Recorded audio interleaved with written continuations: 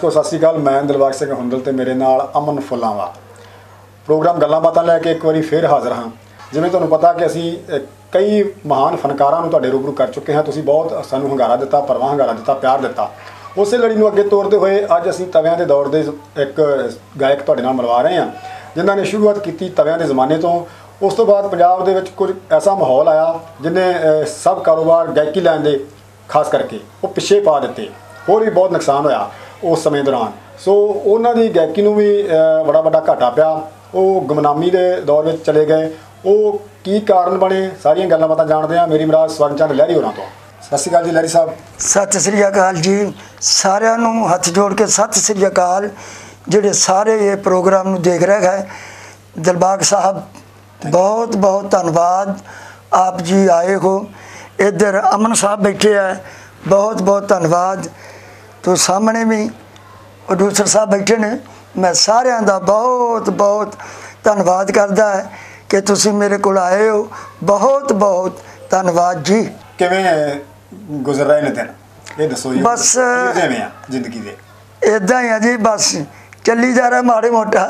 ਹਾਂਜੀ ਤੋ ਬਸ ਦਿਨ ਇਦਾਂ ਹੀ ਆ ਅੱਗੇ ਪਿੱਛੇ ਚੱਲਦੇ ਰਹਿੰਦੇ ਆ ਜੀ। ਠੀਕ ਹੈ ਜੀ। ਤੋ ਜਿਹੜੀ ਕਲਾ ਹੈਗੀ ਉਹ ਕੁਝ ਥੋੜਾ ਹੁਣ ਸਾਡੇ ਤੋਂ ਬਹੁਤ ਪਿੱਛੇ ਚਲੇ ਗਈ ਹੈ। ਦਰਬਾਗ ਸਾਹਿਬ। ਚਲੋ ਜੀ ਉਹ ਉਹ ਦਾਤੇ ਦੀ ਦੇਣ ਆ ਕਲਾ। ਤੁਹਾਡੇ ਅੰਦਰ ਉਹ- ਉਹਨੇ ਕੁੱਟ-ਕੁੱਟ ਕੇ ਭਰੀ ਹੈ ਕਲਾ। ਅਸੀਂ ਸੁਣਿਆ ਹੈ ਪੜ੍ਹਿਆ ਤੁਹਾਡੇ ਬਾਰੇ। ਜੀ। ਤੇ ਕੁਝ ਕੁ ਗੀਤ ਵੀ ਸੁਣੇ ਨੇ ਤੁਹਾਡੇ। ਤੇ ਉਸ ਤੋਂ ਪਤਾ ਲੱਗਦਾ ਵੀ ਬੜੀ ਅਪਾਰ ਕਿਰਪਾ ਸੀ ਤੁਹਾਡੇ ਤੇ ਪ੍ਰਮਾਤਮਾ ਦੀ। ਤੇ ਆਪਣਾ ਪਿਛੋਕੜ ਦੱਸੋ ਜੀ ਕਿੱਥੇ ਜਨਮ ਹੋਇਆ? ਛੋਕਰ ਮੇਰਾ ਇਹ ਹੈ ਜੀ ਅਮਨ ਸਾਹਿਬ। ਹਾਂਜੀ। ਸੁਲਤਾਨਪੁਰ ਦੇ ਇਲਾਕੇ 'ਚ ਛੋਟਾ ਜਿਹਾ ਪਿੰਡ ਆ ਸੈਨਪੁਰ ਬੂਲੇ। ਸਾਹਿਬਪੁਰ ਬੂਲੇ? ਹਾਂ ਬੂਲੇ। ਜਿੱਥੋਂ ਮੈਂ ਜਨਮ ਲਿਆ ਹੈ। ਜੀ। ਉਸ ਤੋਂ ਬਾਅਦ ਫਿਰ ਸੁਲਤਾਨਪੁਰ ਦੇ ਨਾਲ ਹੀ ਪਿੰਡ ਹੈ ਜਿੱਥੇ ਇਸ ਵੇਲੇ ਸਾਰਾ ਹੀ ਪਰਿਵਾਰ ਸਾਡਾ ਰਹਿੰਦਾ ਹੈ। ਉੱਥੇ ਅਸੀਂ ਆ ਕੇ ਰਹੇ ਹਾਂ ਉਹ ਅਜੇ ਤੱਕ ਉੱਥੇ ਹੀ ਆ ਤੇ ਸਾਰੇ ਭੈਣ ਭਾਈ ਮੇਰੇ ਉੱਥੇ ਆ ਚਾਚੇ ਤਾਏ ਮੇਰੇ ਹਸਨਪੁਰ ਬੂਲੇ ਹੀ ਆ। ਜੀ। ਹਾਂਜੀ। ਤੇ ਤੁਸੀਂ ਇੱਥੇ ਕਪੂਰਥਲੇ ਰਹਿ ਰਹੇ ਹੋ? ਹਾਂ ਮੈਂ ਕਪੂਰਥਲੇ ਆ ਗਿਆ ਸੀ ਕਿ ਗਾਉਣ ਦਾ ਸ਼ੌਕ ਸੀ ਮਾੜਾ ਮੋਟਾ। ਜੀ। ਪੜ੍ਹਾਈ ਵੀ ਹੈ ਨਹੀਂ ਸੀ ਮੇਰੀ ਹਾਂਜੀ ਅੱਛਾ ਜੀ। ਤੇ ਸ਼ੌਕ ਸੀਗਾ ਮੈਨੂੰ ਵੀ ਮੈਂ ਮਾੜਾ ਮੋਟਾ ਗਾਵਾਂ। ਚਲੋ ਮਹਾਰਾਜ ਦੀ ਕਿਰਪਾ ਹੈ, ਗਈ ਤੇ ਗਾਉਂਦਾ ਰਿਹਾ ਗਾ ਮਾੜਾ ਮੋਟਾ। ਤੋ ਇਸ ਤਰ੍ਹਾਂ ਫਿਰ ਅਮਨ ਸਾਹਿਬ ਜੀ ਸ਼ੌਕ ਜਿਹੜਾ ਹੈ ਇਹ ਸ਼ੌਕ ਐਸਾ ਹੀ ਹੈ ਹਾਂਜੀ ਤੋ ਸ਼ੌਂਕ ਜਿੱਦਾਂ ਤੁਸੀਂ ਦੱਸਿਆ ਸ਼ੌਂਕ ਪਰਿਵਾਰ ਚ ਕੋਈ ਹੋਰ ਵੀ ਗਾਉਂਦਾ ਸੀ? ਨਹੀਂ ਕੋਈ ਨਹੀਂ ਸੀ ਗਾਉਂਦਾ ਜੀ। ਤੇ ਫਿਰ ਇਹ ਸ਼ੌਂਕ ਚਣ ਕੇ ਕਿੱਦਾਂ ਬਸ ਇਦਾਂ ਜੀ ਸ਼ੌਕ ਆ ਰੇਡੀਓ ਉਦੋਂ ਤਵੇ ਰਿਕਾਰਡ ਹੀ ਹੁੰਦੇ ਸੀਗੇ। ਲਾਲ ਚੰਦ ਜੰਬਲਾ ਜੀ ਹੋਰ ਬੜੇ ਫਨਕਾਰ ਕਲਾਕਾਰ ਸੀ ਜਿਨ੍ਹਾਂ ਦੇ ਤਵੇ ਸੁਣਨੇ। ਉਹਨਾਂ ਨੂੰ ਸੁਣ ਸੁਣ ਕੇ ਐਸਾ ਹੀ ਸ਼ੌਕ ਲੱਗਾ ਕਿ ਬਹੁਤ ਪੁਰਾਣਾ ਸਾਡਾ ਕਲਾਕਾਰ ਮਿਲਖੀ ਰਾਮ ਮਿਲਖੀ। ਹਾਂਜੀ ਜਗ ਸਿੰਘ ਜੱਗਾ ਜੀ ਇਹ ਸਾਰੇ ਸੁਰਿੰਦਰ ਸ਼ਿੰਦਾ ਜੀ ਮਾਨਕ ਸਾਹਿਬ ਤੇ ਬਹੁਤ ਉਦੋਂ ਉਹਨਾਂ ਦੀ ਚੜ੍ਹਾਈ ਸੀ। ਤੇ ਹਾਂਜੀ ਬਹੁਤ ਵਧੀਆ ਗਾਉਂਦੇ ਸੀ ਦਿਲਬਾਗ ਸਾਹਿਬ। ਬੜੀ ਚੜ੍ਹਾਈ ਸੀ ਉਹਨਾਂ ਦੀ। ਤੇ ਇਦਾਂ ਫਿਰ ਮੈਨੂੰ ਮਾੜਾ ਮੋਟਾ ਸ਼ੌਕ ਲੱਗ ਗਿਆ। ਇੱਕ ਵਾਰੀ ਮਿਲਖੀ ਰਾਮ ਜੀ ਇਲੈਕਸ਼ਨ ਸੀਗੀ ਵੋਟਾਂ ਦਾ ਪ੍ਰੋਗਰਾਮ ਸੀ। ਤੇ ਉੱਥੇ ਉਹਨਾਂ ਨੇ ਗਾਇਆ ਤਾਂ ਮੈਨੂੰ ਐਵੇਂ ਠੋਕਰ ਜੀ ਲੱਗੀ ਵੀ ਮੈਂ ਵੀ ਗਾਉਣਾ ਹੀ ਸਿੱਖਣਾ। ਫਿਰ ਮੈਂ ਅਮਨ ਸਾਹਿਬ ਬਸ ਇਦਾਂ ਸ਼ੌਕ ਹੋ ਗਿਆ ਪੜ੍ਹਾਈ ਹੈ ਨਹੀਂ ਸੀਗੀ। ਸ਼ੌਕ ਹੀ ਹੋ ਗਿਆ ਫਿਰ ਪਿੰਡ ਦੇ ਲੋਕ ਮੇਰੇ ਜਿਹੜੇ ਉਹ ਬੜੀ ਮਦਦ ਕਰਨ ਲੱਗ ਪਏ ਕਿਤੇ ਮੇਲਾ ਹੋਣਾ ਮੱਸਿਆ ਤੇ ਉਹਨਾਂ ਮੈਨੂੰ ਲੈ ਕੇ ਜਾਣਾ ਉੱਥੇ ਟਾਈਮ ਲੈ ਕੇ ਜ਼ਰੂਰ ਦੇਣਾ ਤੇ ਮੈਂ ਮਾੜਾ ਮੋਟਾ ਅਮਨ ਸਾਹਿਬ ਗਾਉਣਾ ਦਿਲਬਾਗ ਜੀ ਐਸੇ ਤਰ੍ਹਾਂ ਫਿਰ ਸ਼ੌਕ ਜਿਹੜਾ ਇੱਕ ਸ਼ੌਕ ਇੱਕ ਕੰਮ ਹੀ ਹੈ ਅਵੱਲਾ ਹੈ। ਹੀ ਬਣ ਗਿਆ। ਹਾਂਜੀ ਹਾਂਜੀ ਹਾਂਜੀ। ਤੇ ਉਸ ਤੋਂ ਬਾਅਦ ਫਿਰ ਰਿਕਾਰਡਿੰਗ ਦਾ ਸਬਬ ਕਿੱਦਾਂ ਬਣਿਆ ਜਾਂ ਰਿਕਾਰਡਿੰਗ ਦਾ ਇਸ ਤਰ੍ਹਾਂ ਬਣਿਆ ਜੀ। ਹਾਂਜੀ। ਬੰਬੇ ਦੇ ਲੂਥਰ ਸਾਹਿਬ ਸੀ ਜਿਹੜੇ ਮਾਲਕ ਸੀ ਕੰਪਨੀ ਦੇ ਪੌਲੀਡੋਰ ਪੋਲੀਡੋਰ। ਕੋਰੀਡੋਰ ਕੰਪਨੀ ਹਾਂਜੀ। ਆ ਪੌਲੀਡੋਰ ਕੰਪਨੀ ਸੀਗੀ ਤੇ ਇੱਕ ਮੇਰਾ ਬੰਦਾ ਆਉਂਦਾ ਆਉਂਦਾ ਸੀ ਮੇਰੇ ਕੋਲ ਮਨੋਰ ਬਾਗੀ ਜੀ। ਜਲੰਧਰ ਰਹਿੰਦੇ ਆ। ਉਹ ਮੈਨੂੰ ਕਹਿੰਦਾ ਚਲੋ ਉਸਤਾਦ ਜੀ ਇੱਕ ਅਫਸਰ ਆਇਆ ਹੈ। ਉਹ ਦਿਲਬਾਗ ਜੀ ਕਹਿਣ ਲੱਗੇ ਵੀ ਅਫਸਰ ਇੱਕ ਆਇਆ। ਤੇ ਉਹਨਾਂ ਨੇ ਰਿਕਾਰਡਿੰਗ ਕੰਪਨੀ ਉਹਨਾਂ ਦੀ ਬੜੀ ਤਕੜੀ ਆ। ਤੁਸੀਂ ਵੀ ਚਲੋ ਮੈਂ ਕਿਹਾ ਯਾਰ ਆਪਾਂ ਨੂੰ ਕਿੰਨੇ ਉੱਥੇ ਪੁੱਛਣਾ। ਉਹ ਮੈਨੂੰ ਬੜੇ ਜ਼ੋਰ ਦੇ ਨਾਲ ਵਿਨੋਦ ਬਾਗੀ ਜੀ ਲੈ ਗਏ। ਮੈਂ ਉੱਥੇ ਜਾ ਕੇ ਸੁਣਾਇਆ ਉਹਨਾਂ ਸਿਲੈਕਟ ਕਰ ਲਿਆ। ਹਾਂਜੀ। ਤਾਂ ਫਿਰ ਉਹਨਾਂ ਸਿਲੈਕਟ ਕਰਕੇ ਫਿਰ ਉਹਨਾਂ ਮੈਨੂੰ ਡੇਟ ਦੇ ਦਿੱਤੀ। ਤਾਂ ਫਿਰ ਮੈਂ ਉਹ ਉਹਨਾਂ ਦੇ ਨਾਲ ਰਿਕਾਰਡਿੰਗ ਹੋਈ। ਹਾਂ ਰਿਕਾਰਡਿੰਗ ਈਪੀ ਕੀਤੀ ਰਿਕਾਰਡ ਆ ਪਹਿਲਾਂ ਜੀ। ਹਾਂਜੀ। ਈਪੀ ਰਿਕਾਰਡ ਆ ਛੋਟਾ। ਹਾਂਜੀ ਆ ਛੋਟੇ ਚਾਰ ਗੀਤਾਂ ਦਾ ਰਿਕਾਰਡ ਚਾਰ ਗੀਤਾਂ ਦਾ। ਹਾਂਜੀ। ਕਿਹੜੀ ਕੁ ਸੰਨ ਦੀ ਗੱਲ ਹੈ ਜੀ? ਇਹ ਸਨ ਤੇ ਮੇਰਾ ਖਿਆਲ ਆ ਵੀ ਮੈਂ ਪੜ੍ਹਿਆ ਲਿਖਿਆ ਤਾਂ ਨਹੀਂ ਐਡਾ ਜੀ। ਜੀ। ਹਾਂਜੀ। ਹਾਂਜੀ। ਤੋ ਮੈਨੂੰ ਇੰਨਾ ਕਹਾ ਬਈ ਸਨ ਕੁਝ 70 ਕਿਤੇ ਲਾਗੇ ਬੰਨੇ ਅਮਨ। ਸਾਹਿਬ। ਠੀਕ ਹੈ, ਇਹ। ਰਿਕਾਰਡਿੰਗ ਦਿਲਬਾਗ ਜੀ। ਹੋਈ ਹੈ। ਠੀਕ ਹੈ ਜੀ। ਕੁਝ ਬੋਲ ਯਾਦ ਨੇ ਵੀ ਕਿਹੜੇ ਕਿਹੜੇ ਬੋਲ ਇਸ ਤਰ੍ਹਾਂ ਹੈ ਜੀ ਬਈ ਅਲਮਸਤ ਜੀ। ਰਮਸਤ ਦੇਸਰ ਦੇਸਰਪੁਰੀ ਜੀ।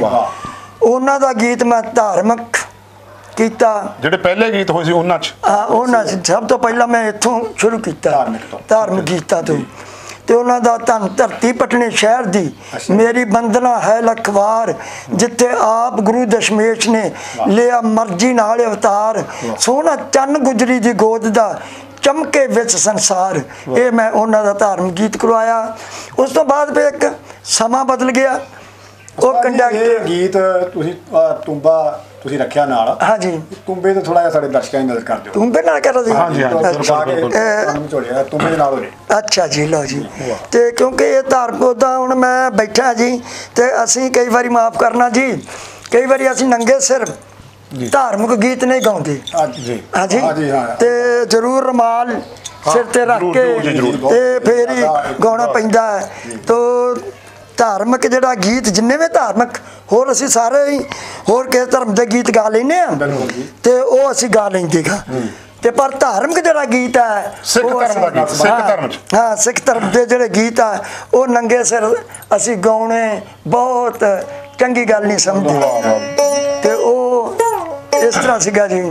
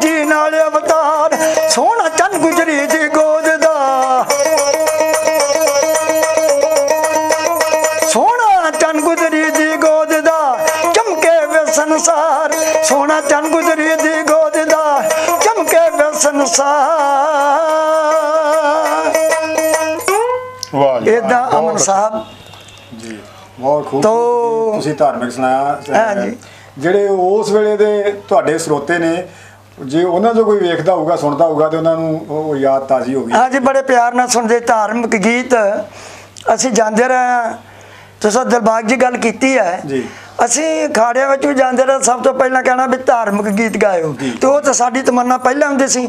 ਅਸੀਂ ਕੁਛ ਵੀ ਗਾਉਣਾ ਪਹਿਲਾਂ ਧਾਰਮਿਕ ਗੀਤ ਗਾਉਣਾ। ਰੱਬ ਦਾ ਨਾਮ ਲੈ ਕੇ ਗੱਲ। ਰੱਬ ਦਾ ਨਾਮ ਲੈ ਕੇ ਫਿਰ ਅਸੀਂ ਅਗਲਾ ਕੋਈ ਕੰਮ ਕਰਨਾ ਹੈ ਜਾਂ ਕੋਈ ਗੀਤ ਗਾਉਣਾ ਹੈ। ਉਸਤਾਦ ਜੀ ਜਿੱਦਾਂ ਗੀਤ ਗਾ ਕੇ ਹਟਿਆ ਤੁੰਬਾ ਵਜਾ ਰਹੇ ਸੀ ਬਹੁਤ ਸੋਹਣਾ ਵਜਾ ਰਹੇ ਸੀ। ਇਹ ਬਕਾਇਦਾ ਕੋਈ ਉਸਤਾਦੀ ਸ਼ਾਗਿਰਦੀ ਹੋਈ? ਹਾਂਜੀ ਹਾਂਜੀ। ਕਿੰਨਾ ਤੋਂ ਹੋਈ ਮਾੜਾ ਇਹ ਮੇਰੇ ਉਸਤਾਦ ਸੋਹਣ ਲਾਲ ਪਰਦੇਸੀ ਜੀ। ਜੀ ਹਾਂਜੀ, ਉਹ ਮੇਰੇ ਉਸਤਾਦ ਸੀ। ਉਹ ਵੱਡੇ ਤੂੰਬੇ ਨਾ ਗਾਉਂਦੇ ਸੀ, ਛੇ ਤਾਰਾਂ ਤੂੰਬੇ ਨੂੰ ਸੀ। ਅਮਨ ਸਾਹਿਬ। ਜੀ। ਤੇ ਫਿਰ ਮੈਨੂੰ ਸ਼ੌਕ ਸੀ ਕਿ ਮੈਂ ਉਸਤਾਦ ਲਾਲ ਚੰਦ ਜਮਲਾ ਜੀ ਨੂੰ ਸੁਣਦਾ ਰਿਹਾ ਹੋਰ ਕਲਾਕਾਰਾਂ ਨੂੰ। ਤੇ ਮੈਂ ਫਿਰ ਉਹ ਵੱਡਾ ਤੂੰਬਾ ਨਹੀਂ ਵਜਾਇਆ ਆ ਤੂੰਬੀ ਵਜਾਈ ਵਾਹ। ਹਾਂਜੀ ਇਹ ਤੁਹਾਡੇ ਉਸਤਾਦ ਜੀ ਕਿੱਥੋਂ ਦੇ ਰਹਿਣ ਵਾਲੇ ਸੀ ਇਹ ਪਹਿਲਾਂ ਹੁਸ਼ਿਆਰਪੁਰ ਰਹਿੰਦੇ ਸੀ ਹੁਣ ਤੇ ਮੇਰੇ ਲਾਗੇ ਸੁਭਾਨਪੁਰ ਦੇ ਲਾਗੇ ਬੂਟਾ ਧੰਮਾ ਪਿੰਡ। ਧੰਮਾ, ਉੱਥੇ ਰਹਿ ਰਹੇ।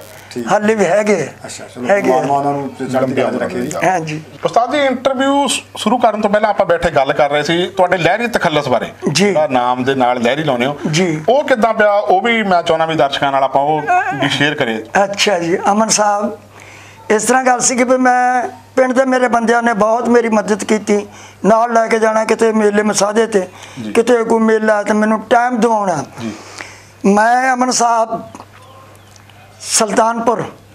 ਗੁਰੂ ਦਾ ਘਰ। ਜੀ। ਤੇ ਉੱਥੇ ਮੇਲਾ ਸ- ਮੱਸਿਆ ਸੀਗੀ। ਮੱਸਿਆ ਤੇ ਸਟੇਜ ਲੱਗੀ ਸੀ ਉੱਥੇ ਮੈਨੂੰ ਟਾਈਮ ਲੈ ਕੇ ਦਿੱਤਾ। ਤੇ ਉਦੋਂ ਮਿਨਿਸਟਰ ਹੁੰਦੇ ਸੀ ਕੈਰੋਂ ਸਾਹਿਬ। ਪ੍ਰਤਾਪ ਸਿੰਘ ਕਹਿ ਹਾਂ ਪ੍ਰਤਾਪ ਸਿੰਘ ਕੈਰੋਂ ਜੀ। ਤੇ ਮੈਂ ਤੂੰ ਵੀ ਨਾ ਗਾ ਰਿਹਾ ਉਧਰੋਂ ਉਹ ਆ ਗਿਆ ਤੇ ਉਹਨਾਂ ਸਟੇਜ ਤੇ ਜਦੋਂ ਆ ਗਿਆ ਤੇ ਉਹਨਾਂ ਆਉਂਦਾ ਕਿਹਾ ਵੀ ਲੈ ਵੀ ਕਾਕੇ ਨੇ ਤੇ ਬੜੀਆਂ ਲਹਿਰਾਂ ਬਹਿਰਾਂ ਲਾਤੇ ਆ ਤੇ ਬੰਦਾ ਹੀ ਲਹਿਰੀ ਹੈ। ਵਾਹ। ਉੱਥੋਂ ਮੇਰਾ ਕੈਰੋ ਸਾਹਿਬ ਦੀ ਕਿਰਪਾ ਨਾਲ ਅੱਜ ਤੱਕ ਮੈਨੂੰ ਲੋਕ ਲਹਿਰੀ ਕਹਿੰਦੇ। ਦਿਲਬਾਗ ਜੀ। ਬੜੀ ਗੱਲ ਦਿਲਚਸਪ। ਆ ਦਰਸ਼ਕੋ। ਵੇਖੋ ਸਵਰਨਚੰਦ ਲਹਿਰੀ ਜੀ ਦਾ ਨਾਮ ਹੀ ਸਰਦਾਰ ਪ੍ਰਤਾਪ ਸਿੰਘ ਕੈਰੋਂ ਹੋਰਾਂ ਨੇ ਰੱਖਿਆ। ਤੇ ਜਨਾਬ ਕੁਲਦੀਪ ਮਾਨਕ ਹੋਰਾਂ ਦਾ ਨਾਮ ਹੀ ਉਹਨਾਂ ਦੀ ਦੇਣ ਆ ਮਾਨਕ ਕੁਲਦੀਪ ਮਾਨਕ ਇਹ ਦੋ ਸਾਡੇ ਮਹਾਨ ਗਾਇਕ ਨੇ ਜਿਨ੍ਹਾਂ ਦੇ ਨਾਮ ਸਰਦਾਰ ਪ੍ਰਤਾਪ ਸਿੰਘ ਕੈਰੋਂ ਨੇ ਰੱਖੇ। ਉਸਤਾਦ ਜੀ ਇਹ ਤਾਂ ਤੁਹਾਡੇ ਨਾਮ ਦੀ ਗੱਲ ਹੋ ਗਈ। ਜੀ। ਲਹਿਰੀ ਸਰਦਾਰ ਪ੍ਰਤਾਪ ਸਿੰਘ ਕਹਿਰਾ ਹੋਣਾ ਨੇ ਤੁਹਾਨੂੰ ਤਖਲਸ ਦਿੱਤਾ। ਹਾਂਜੀ ਹਾਂਜੀ। ਤੁਸੀਂ ਦੱਸਿਆ ਧਾਰਮਿਕ ਗੀਤ ਆ ਗਏ ਦੋ। ਹਾਂਜੀ। ਉਹ ਕਿੰਨੇ ਚੱਲੇ ਉਸ ਵੇਲੇ ਮਾਰਕੀਟ 'ਚ? ਉਦੋਂ ਤਾਂ ਬਹੁਤ ਚੱਲਦੇ ਸੀਗੇ ਜੀ ਧਾਰਮਿਕ ਲੋਕ ਸੁਣਦੇ ਬੜੇ ਸੀ। ਜੀ ਜੀ। ਬੜੇ ਪ੍ਰੇਮ ਪਿਆਰ ਦੇ ਨਾਲ ਸੁਣਦੇ ਸੀਗੇ। ਅੱਛਾ ਜੀ। ਤੋ ਬਹੁਤ ਵਧੀਆ ਸੁਣਦੇ ਸੀਗੇ। ਤੇ ਉਹਦੇ ਨਾਲ ਤੁਹਾਡੇ ਪ੍ਰੋਗਰਾਮਾਂ ਦੀ ਗਿਣਤੀ ਵਧੀ? ਉਹ ਪ੍ਰੋਗਰਾਮਾਂ ਦੇ ਹਾਂਜੀ ਉਦੋਂ ਸਮਾਂ ਵੀ ਐਸਾ ਸੀਗਾ ਪੈਸੇ ਧੇਲਾ ਵੀ ਇਦਾਂ ਥੋੜਾ ਹੁੰਦਾ ਸੀਗਾ ਜੀ। ਅੱਛਾ ਜੀ। ਤੇ ਪ੍ਰੋਗਰਾਮ ਤੇ ਮਿਲ ਜਾਂਦੇ ਸੀ ਹਾਂਜੀ। ਤੇ ਉਸ ਤੋਂ ਬਾਅਦ ਤੁਹਾਨੂੰ ਦੁਬਾਰਾ ਕੰਪਨੀ ਨੇ ਬੁਲਾਇਆ ਵੀ ਤੁਹਾਡਾ ਰਿਕਾਰਡ ਦੁਬਾਰਾ ਕੰਪਨੀ ਚ ਜਾਂਦਾ ਰਿਹਾ ਜੀ ਭਾਈ ਆ ਕੇ ਰਿਕਾਰਡਿੰਗ ਦਿੱਲੀ ਕਰਦੇ ਸੀ। ਦਿਲਬਾਗ। ਸਾਹਿਬ ਹਾਂ ਦਿੱਲੀ। ਕੰਪਨੀ ਬੰਬੇ ਦੀ ਸੀ। ਪਰ ਉਹ ਸੋਚਦੇ ਵੀ ਮੇਰੇ ਵਰਗਾ ਗਰੀਬ ਕਿੱਥੇ ਬੰਬੇ ਆਊਗਾ। ਤੇ ਉਹ ਦਿੱਲੀ ਆ ਕੇ ਰਿਕਾਰਡਿੰਗ ਕਰ ਲਈ ਤੁਸੀਂ ਫਿਰ ਦੁਬਾਰਾ ਗਏ ਉਹਨਾਂ ਸੱਦਿਆ ਤੁਹਾਨੂੰ? ਹਾਂਜੀ ਹਾਂਜੀ। ਅੱਛਾ ਫਿਰ ਕਿਹੜੇ ਗੀਤ ਰਿਕਾਰਡ ਹੋਏ? ਫੇਰ ਗੀਤ ਮੇਰੇ ਰਿਕਾਰਡ ਹੋਏ ਆ ਜੀ ਸੋਲੋ। ਅੱਛਾ ਜੀ ਤੁਹਾਡੇ। ਸੋਲੋ ਗੀਤ ਪੰਜਾਬੀ ਗੀਤ ਯਾਨੀ ਸੱਭਿਆਚਾਰ ਹਾਂ, ਸੱਭਿਆਚਾਰ। ਧਾਰਮਿਕ ਤੋਂ ਹਟ ਕੇ। ਹਾਂਜੀ ਹਾਂਜੀ। ਜੀ। ਸੱਸੀ ਪੁੰਨੂ ਹੋਇਆ ਜੀ। ਇਦਾਂ ਸੱਭਿਆਚਾਰਕ ਰੱਬਾ ਮੇਰਾ ਬਣ ਕੇ ਵਿਚੋਲਾ। ਛੜੇ ਦਾ ਕਿਤੇ ਕਰ ਮੰਗਣਾ ਹੈ? ਪਰਵਾਨਾ ਜੀ। ਲੁਧਿਆਣੇ ਦੇ ਆ। ਚਤਰ ਸਿੰਘ ਉਹਨਾਂ ਦਾ। ਚਤਰ ਸਿੰਘ ਪਰਵਾਨਾ ਉਹਨਾਂ ਦਾ ਲਿਖਿਆ ਸੀ। ਉਹਨਾਂ ਦਾ ਲਿਖਿਆ। ਉਹਨਾਂ ਮੈਨੂੰ ਬੜੇ ਪ੍ਰੇਮ ਪਿਆਰ ਨਾਲ ਇੱਕ ਵਾਰ ਸੁਣਿਆ ਕਹਿੰਦੇ ਲਹਿਰ ਜਾ ਗੀਤ ਤੁਹਾਡੇ ਕਰਾਉਣ ਵਾਲਾ ਕਰਵਾ ਦਿਓ ਅੱਛਾ ਜੀ ਹਾਂਜੀ ਰੱਬਾ ਉਹ ਅਜਿਹੇ ਗੀਤ ਚੱਲਦੇ ਸੀ ਸ਼ਾਇਦ ਹਾਂਜੀ ਚੱਲਦੇ ਸੀ ਹਾਂ। ਨਾਲੇ ਹੈ ਵੀ ਅਸਲੀ ਸੀਗਾ ਜੀ ਕੋਈ ਇਦਾਂ ਦਾ ਲੱਚੜ ਨਹੀਂ। ਇਹ ਰੱਬਾ ਮੇਰਾ ਬਣ ਕੇ ਵਿਚੋਲਾ ਉਹ ਉਹ ਤੁਹਾਡੇ ਕਿੰਨੇ ਗੀਤ ਆਏ ਉਹ ਗੀਤ ਚਾਰ ਗੀਤ ਚਾਰ ਗੀਤਾਂ ਦਾ ਤਵਾ ਹੁੰਦਾ ਸੀ ਜੀ, ਚਾਰ ਗੀਤ ਆਏ। ਹਾਂਜੀ ਤੇ ਉਹਦਾ ਤੁਹਾਨੂੰ ਕੋਈ ਮਿਹਨਤਾਨਾ ਕੰਪਨੀ ਨੇ ਦਿੱਤਾ ਕੰਪਨੀ ਨੇ ਦਿੱਤੇ ਆ ਜੀ। ਅੱਛਾ ਜੀ। ਰਿਐਲਿਟੀ ਉਹਨੂੰ ਕਹਿੰਦੇ ਹੁੰਦੇ ਸੀ ਕਿ ਹਾਂ, ਪੜ੍ਹੇ ਲਿਖੇ reality ਥੋੜਾ ਰਿਐਲਿਟੀ ਆਉਂਦੀ ਰਹੀ ਆ ਜੀ। ਅੱਛਾ ਜੀ। ਹਾਂਜੀ। ਤੇ ਉਹ ਜਿੰਨੇ ਕੇ ਪੈਸੇ ਬਣਨੇ ਹਾਂਜੀ, ਹਾਂਜੀ। ਉਹ ਘਰੇ ਆ ਜਾਂਦੇ। ਤੇ ਘਰ ਆ ਜਾਂਦੇ ਸੀਗੇ ਅੱਛਾ ਜੀ। ਚਲੋ ਟਾਈਮ ਪਾਸ ਹੋਈ। ਉਦੋਂ ਸੰਤੁਸ਼ਟ ਹੋਏ ਵੀ ਇਹ ਠੀਕ ਆ ਜੀ ਮੇਰੇ ਰਿਕਾਰਡ ਆ ਗਏ ਆ ਮੇਰੇ ਹਾਂਜੀ, ਦੇ ਵਿੱਚ ਸਪੀਕਰਾਂ ਦੇ ਵਿੱਚ ਵੱਜਦੇ ਆ। ਜੀ ਜੀ। ਤੇ ਪ੍ਰੋਗਰਾਮ ਲਾ ਰਹੇ ਆ। ਉਹ ਤੁਹਾਡੇ ਮਨ ਦੀ ਥੋੜੀ ਤਸੱਲੀ ਹੋਈ ਸੰਤੁਸ਼ਟੀ ਹੋਈ ਤਾਂ? ਹਾਂ ਹਾਂਜੀ ਉਹ ਤੇ ਫਿਰ ਥੋੜੀ ਖੁਸ਼ੀ ਤੇ ਹੁੰਦੀ ਹੈ ਜੀ। ਵੀ ਚਲੋ ਬਈ ਇੰਨੇ ਸੰਸਾਰ ਵਿੱਚ ਸਾਡਾ ਵੀ ਕਿਤੇ ਨਾਮ ਮਾੜਾ ਜਿਹਾ ਪਿਛਲੀ ਲਾਈਨ 'ਚ ਲੱਗਾ। ਜੀ, ਜੀ। ਉਹ ਤੇ ਫਿਰ ਦਿਲਬਾਗ ਜੀ ਦਿਲਬਾਗ ਸਾਹਿਬ ਹੁੰਦਾ ਹੀ ਆ। ਦਿਲ 'ਚ ਪਿਆਰ ਚਾਹ ਤੇ ਹੁੰਦਾ ਹੀ ਆ। ਉਦੋਂ ਧਾਰਮਿਕ ਹੋ ਗਏ ਸੋਲੋ ਹੋ ਗਏ ਉਸ ਤੋਂ ਬਾਅਦ ਫਿਰ ਦੋ ਗਾਣਾ ਜੁਗ ਆ ਗਿਆ। ਹਾਂ ਦੋ ਗਾਣੇ ਫਿਰ ਦੋ ਗਾਣਾ ਗਾਇਆ? ਹਾਂ ਦੋ ਗਾਣਾ ਗਾਇਆ ਜੀ ਮੈਂ। ਕਿੰਨਾ ਨਾਲ ਗਾਇਆ ਜੀ? ਬਿੰਦੂ ਹੁੰਦੀ ਸੀ ਜੀ ਚੰਗਿਆੜੀ ਉਹਦਾ ਨਾਂ ਸੀ। ਬਿੰਦੂ ਚੰਗਿਆੜੀ ਕਹਿੰਦੇ ਸਾਨੂੰ। ਤੇ ਉਹ ਬੰਗਿਆਂ ਦੇ ਰਹਿਣ ਵਾਲੀ ਸੀ। ਹਾਂਜੀ। ਤੇ ਇੱਕ ਹੋਰ ਨਾਂ ਰਲਦਾ ਉਹਦੇ ਨਾਲ ਬਿੰਦੂ ਉਹ ਜਲੰਧਰ ਦੀ ਸੀ। ਅੱਛਾ ਜੀ। ਉਹਦੇ ਨਾਲ ਵੀ ਰਿਕਾਰਡਿੰਗ ਹੋਈ ਹੈ ਜੀ। ਉਹ- ਵੀ ਦੋ ਗਾਣਾ ਜੀ। ਉਹ ਵੀ ਦੋ ਗਾਣਾ ਜੀ। ਤੁਹਾਡੇ ਉਹ ਰਿਕਾਰਡ ਆਏ ਉਹਨਾਂ ਦੇ ਨਾਲ? ਆ ਉਹਨਾਂ ਨਾਲ ਆਏ ਜੀ। ਤੇ ਗੀਤਾਂ ਦੇ ਬੋਲ ਕੁਝ ਯਾਦ ਆ ਬੋਲ ਹੁਕਮ ਕਰੋ ਤੇ ਮੈਂ ਅਮਨ ਸਾਹਿਬ ਹਾਂਜੀ, ਹਾਂਜੀ, ਹਾਂਜੀ, ਜ਼ਰੂਰ। ਉਹ ਸੀਗਾ ਸੁਣਾਓ ਸਾਡੇ ਸਰੋਤੇ। ਅੱਜ ਕੁਦਰਤੀ ਹੋ ਗਿਆ ਟਾਕਰੇ ਖੜ ਗਿਆ ਨੀ ਬਾਹ ਫੜ ਕੇ। ਪੰਜੇ ਆਪਣੇ ਵੀਰ ਬਰਾਲਾ ਦੇਖਣ ਦੋ ਹੱਥ ਕਰਕੇ ਇੱਥੇ ਲਹਿਰੀ ਦੀ ਡਾਂਗ ਦੜਾ ਦੜ ਖੜ ਕੇ। ਤੇ ਕੁੜੀ ਦੇ ਬੋਲ ਸੀ ਭੀੜੀ ਗਲੀ ਵਿੱਚ ਹੋ ਗਿਆ ਟਾਕਰੇ ਖੜ ਗਿਆ ਵੇ ਬਾਹ ਫੜ ਕੇ। ਵੀਰਾਂ ਮੇਰਿਆਂ ਨੂੰ ਪਤਾ ਜੇ ਲੱਗ ਗਿਆ ਲਿਆਉਣ ਦਨਾਲੀ ਭਰ ਕੇ ਬਾਹ ਛੱਡ ਵੇ ਮਿੱਤਰਾ ਨਰਮ ਕਾਲਜਾ ਧੜਕੇ ਵਾਹ। ਇਦਾਂ ਦੇ ਗੀਤ ਹੁੰਦੇ ਸੀ। ਇਹ ਤੁਹਾਡੇ ਉਸ ਸਮੇਂ ਦੇ ਦੌਰਾਨ ਹੋਰ ਕਿਹੜੇ ਕਿਹੜੇ ਗਾਇਕ ਸਨ ਜਿਨ੍ਹਾਂ ਦੇ ਉਸ ਵੇਲੇ ਤਵੇ ਪੰਜਾਬ ਦੀਆਂ ਹਵਾਵਾਂ ਦੇ ਵਿੱਚ ਵੱਜਦੇ ਸੀ ਗੂੰਜਦੇ ਉਦੋਂ ਜੀ ਬਹੁਤ ਸਾਰੇ ਕਲਾਕਾਰ ਲੁਧਿਆਣੇ ਦੇ ਸੀ। ਜੀ। ਹਾਂਜੀ। ਦਿਲਬਾਗ ਸਾਹਿਬ। ਜਿਨ੍ਹਾਂ ਦੇ ਬਹੁਤ ਸਾਰੇ ਰਿਕਾਰਡ ਚੱਲਦੇ ਸੀਗੇ ਮੇਰੀ ਤਾਂ ਵਾਰੀ ਬਾਅਦ ਚ ਬਹੁਤ ਦੇਰ ਬਾਅਦ ਆਈ ਸੀਗੀ। ਉਹ ਵੀ ਮੌਸਮ ਖਰਾਬ ਹੋਣ ਕਰਕੇ ਥੋੜਾ ਜਿਹਾ ਦਰਬਾਗ ਦਾ ਸਵਾਲ ਇਹ ਸੀਗਾ। ਵੀ ਉਹਨਾਂ ਦਿਨਾਂ 'ਚ ਹੋਰ ਕਿਹੜੇ ਕਲਾਕਾਰ ਆਪਣੀ ਪੰਜਾਬ ਦੀ ਇੰਡਸਟਰੀ 'ਚ ਪੰਜਾਬ ਦੇ ਵਿੱਚ ਤੇ ਕਲਾਕਾਰ ਜੀ ਬੀਬਾ ਜਗਮੋਹਨ ਤੇ ਉਸਤਾਦ ਜੀ ਦਾ ਤਾਂ ਨਾਂ ਬਹੁਤ ਸੀਗਾ ਜੰਬਲਾ ਜੀ ਦਾ ਦਾ। ਲਾਲਚੰਦ ਜੰਬਲਾ ਜੀ ਦਾ ਤੇ ਨਾਂ ਹੀ ਬੜਾ ਸੀਗਾ। ਤੇ ਹੋਰ ਵੀ ਮਾਨਕ ਸਾਹਿਬ ਦਾ ਵੀ ਬਹੁਤ ਨਾਂ ਸੀ ਅੱਛਾ ਇਹਨਾਂ। ਇਹਨਾਂ ਸਾਰੇ ਕਲਾਕਾਰਾਂ ਨਾਲ ਕਦੇ ਸਟੇਜ ਸਾਂਝੀ ਕਰਨ ਦਾ ਮੌਕਾ ਅਮਨ? ਸਾਹਿਬ ਜੀ ਹਾਂ ਮਾਨਕ ਸੁਰਿੰਦਰ ਸ਼ਿੰਦਾ ਜੀ। ਜਗਮੋਹਨ ਜੀ। ਇਹਨਾਂ ਨਾਲ ਕਾਫੀ ਸਾਰਾ ਤਾਲਮੇਲ ਸਟੇਜਾਂ ਤੇ ਆਉਂਦਾ ਰਿਹਾ ਜੀ ਠੀਕ ਠੀਕ ਹਾਂਜੀ ਤੇ ਕਦੇ ਉਸ ਤੋਂ ਬਾਅਦ ਜਿੱਦਾਂ ਹੁਣ ਕਦੇ ਮੇਲ ਮਿਲਾਪ ਹੋਇਆ ਜਾਂ ਹੁਣ ਤਾਂ ਬਹੁਤ ਦੇਰ ਹੋ ਗਈ ਆ ਜੀ ਹੁਣ ਤਾਂ ਕਦੀ ਕਿਤੇ ਨਹੀਂ ਗਏ ਮੈਂ ਤਾਂ ਮੈਂ ਜੇ ਪ੍ਰੋਗਰਾਮ ਤੁਹਾਡੀ ਕਿਰਪਾ ਨਾਲ ਕਰਦੇ ਆ ਅਮਨ ਸਾਹਿਬ। ਹੁਣ ਵੀ ਕਰ ਰਹੇ ਹੋ ਹਾਂ ਪ੍ਰੋਗਰਾਮ ਕਰਦੇ ਆ ਜੀ। ਕੋਈ ਜਗਰਾਤੇ ਦਾ ਸੱਭਿਆਚਾਰਕ. ਥੋੜਾ ਬਾਲਾ ਜੋ ਮਾਰ- ਮਹਾਰਾਜ ਨੇ ਸਾਧਨ ਬਣਾਇਆ ਹੈ ਦਿਲਬਾਗ ਸਾਹਿਬ। ਇਹ ਉਸਤਾਦ ਜੀ ਮਹੀਨੇ ਦੇ ਵਿੱਚ ਕਿੰਨੇ ਕੁ ਪ੍ਰੋਗਰਾਮ ਤੁਸੀਂ ਲਾ ਲੈਂਦੇ ਹੋ? ਮਹੀਨੇ ਦਾ ਕੋਈ ਪਤਾ ਨਹੀਂ ਲੱਗਦਾ ਜੇ ਮਹਾਰਾਜ ਦੇਵੇ ਦੋ ਤਿੰਨ ਪ੍ਰੋਗਰਾਮ ਦੇ ਦਿੰਦਾ। ਨਹੀਂ ਤੇ ਬੈਠੇ ਹੀ ਆ ਘਰ। ਚਲੋ ਇਹ ਤਾਂ ਹਾਂ ਜੀ। ਦੋ ਤਿੰਨ ਪ੍ਰੋਗਰਾਮਾਂ ਨਾਲ ਤੁਹਾਡਾ ਮਤਲਬ ਗੁਜ਼ਾਰਾ ਚਲੋ ਮਾੜਾ ਮੋਟਾ ਟਾਈਮ ਪਾਸ ਆ ਜੀ। ਜੀ, ਜੀ। ਟਾਈਮ ਪਾਸ ਹੋ ਜਾਂਦਾ ਜੀ। ਤੇ ਇਹ ਫਿਰ ਜਦੋਂ ਤੁਹਾਡੇ ਤਵੇ ਵੀ ਆ ਗਏ। ਸਾਰਾ ਕੁਝ ਹੋ ਗਿਆ। ਜੀ। ਤੇ ਤੁਸੀਂ ਪਖੜ ਕਿਉਂ ਗਏ? ਅਸੀਂ- ਸਮਕਾਲੀ ਗਾਇਕਾਂ ਤੋਂ। ਆ ਇਸ ਤਰ੍ਹਾਂ ਹੋਇਆ ਮੇਰੇ ਸਾਹਿਬ ਜੀ। ਕਿਉਂਕਿ ਅਸੀਂ ਲੋਕ ਲੋਕ ਗੀਤ ਗਾਉਣ ਵਾਲੇ ਸੀਗੇ। ਜੀ। ਜਿਹੜੇ ਪੇ ਗਾਂ ਸਮਾਂ ਚੱਲ ਪਿਆ ਮਾਹੌਲ ਖਰਾਬ ਤੋਂ ਬਾਅਦ ਅਮਨ ਸਾਹਿਬ ਉਹਦੇ ਵਿੱਚ ਫਿਰ ਗੀਤ ਹੀ ਹੋਰ ਢੰਗ ਦੇ ਆਉਣ ਲੱਗ ਪਏ। ਅਸੀਂ ਫਿਰ ਲੋਕ ਗੀਤ ਗਾਉਂਦੇ ਸੀ ਗੱਲ ਸੁਣ ਲਾ ਨੀ ਹੀਰੇ ਚੜ ਗਈ ਡੋਲੀ ਬੰਨ ਕਲੀਰੇ। ਰਾਂਝਾ ਤੇਰਾ ਦੱਸ ਦੇ ਕਿੱਥੇ ਜਾਵੇ ਨਹੀਂ ਕਿਹੜੀ ਖੀਰ ਦੀ ਜਾ ਕੇ ਚੂਰੀ ਖਾਵੇ ਨਹੀਂ ਅਸੀਂ ਲੋਕ ਇਦਾਂ ਦਾ ਗੀਤ ਗਾਉਂਦੇ ਸੀ ਅਮਨ ਸਾਹਿਬ। ਉਸ ਤੋਂ ਬਾਅਦ ਤੇ ਉਦੋਂ ਫਿਰ ਸਾਡੇ 'ਚ ਪਹੁੰਚ ਨਹੀਂ ਪਈ ਵੀ ਅਸੀਂ ਰਿਕਾਰਡਿੰਗ ਕਰਵਾ ਲਈਏ। ਪੈਸੇ ਦਾ ਯੁੱਗ ਸੀ। ਪਹਿਲਾਂ ਸਾਡੇ ਕੋ ਕੋਈ ਕੰਪਨੀ ਵਾਲੇ ਨੇ ਪੈਸਾ ਲਿਆ ਕਿਸੇ ਰੇਡੀਓ ਤੋਂ ਨਹੀਂ ਲਿਆ। ਤੇ ਅਸੀਂ ਪੰਜਾਬ ਦਾ ਕਾਲਾ ਦੌਰ ਆਇਆ ਉਸ ਤੋਂ ਬਾਅਦ ਦੀ ਗੱਲ ਕਰਦੇ ਤੁਸੀਂ? ਹਾਂਜੀ ਹਾਂਜੀ। ਅੱਛਾ ਜੀ ਉਸ ਤੋਂ ਬਾਅਦ ਤੁਸੀਂ ਮਤਲਬ ਉਸ ਸਮੇਂ ਦੇ ਦੌਰਾਨ ਤੁਸੀਂ ਪਛੜ ਗਏ ਹਾਂਜੀ ਗਾਇਕਾਂ ਤੋਂ। ਬਹੁਤ ਜ਼ਿਆਦਾ ਜੀ। ਉਹਨਾਂ ਸਮਿਆਂ ਦੇ ਵਿੱਚ ਫਿਰ ਤੁਹਾਡੇ ਪ੍ਰੋਗਰਾਮ ਬਿਲਕੁਲ ਖਤਮ ਹੋ ਗਏ? ਆ ਬਿਲਕੁਲ ਖਤਮ ਜੀ। ਪ੍ਰੋਗਰਾਮ ਉਸ ਦਾਇਰੇ ਚ ਅਸੀਂ ਜੀ। ਘੱਟ ਤੋਂ ਘੱਟ ਨਹੀਂ ਘੱਟ ਤੋਂ ਘੱਟ ਵੀ 10 ਸਾਲ ਨਹੀਂ ਗਾਇਆ ਅਮਰ ਸਾਹਿਬ ਇੰਨਾ ਪਿੱਛੇ ਚਲੇ ਗਏ। ਇੱਕ ਮੈਨੂੰ ਇਹ ਦੱਸੋ ਵੀ ਡਰਦਿਆਂ ਨੇ ਨਹੀਂ ਗਾਇਆ ਜਾਂ ਪ੍ਰੋਗਰਾਮ ਹੀ ਨਹੀਂ ਸੀਗੇ? ਨਹੀਂ ਪ੍ਰੋਗਰਾਮ ਕਰਵਾਉਂਦੇ ਨਹੀਂ ਸੀ ਲੋਕੀ ਡਰਦੇ ਸੀ ਜੀ। ਪ੍ਰੋਗਰਾਮ ਲੋਕ ਸੀ ਤੁਸੀਂ ਇਕੱਲੇ ਨਹੀਂ ਡਰਦੇ ਸਾਰੇ ਲੋਕ ਸਾਰੇ। ਲੋਕ ਡਰਦੇ ਸੀ। ਜੀ ਜੀ ਪ੍ਰੋਗਰਾਮ ਜਿਨ੍ਹਾਂ ਦੇ ਘਰ। ਜਿਨ੍ਹਾਂ ਦੇ ਘਰ ਫੰਕਸ਼ਨ ਸੀ। ਉਹ ਵੀ ਕਲਾਕਾਰ ਨਹੀਂ ਬੁਲਾਉਂਦੇ ਡਰਦੇ ਸੀਗੇ ਨਹੀਂ ਬੁਲਾਉਂਦੇ ਸੀ ਤੇ ਕਲਾਕਾਰ ਨੇ ਕਿੱਥੇ ਜਾਣਾ ਸੀ ਜੀ ਜੀ ਜੀ ਉਹ ਇੱਕ ਸਮਾਂ ਹੀ ਐਸਾ ਹਾਂ ਸਮਾਂ ਹੀ ਐਸਾ ਸੀਗਾ ਤੇ ਉਦੋਂ ਫਿਰ ਤੁਹਾਡਾ ਗੁਜ਼ਾਰਾ ਕਿਵੇਂ ਚੱਲਦਾ ਰਿਹਾ ਜੀ ਘਰ ਦਾ ਇਹ ਗੁਜ਼ਾਰਾ ਇਦਾਂ ਚੱਲਦਾ ਰਿਹਾ ਵੀ ਚਲੋ ਮਾੜਾ ਮੋਟਾ ਮਾਂ-ਬਾਪ ਹੈਗੇ ਸੀ।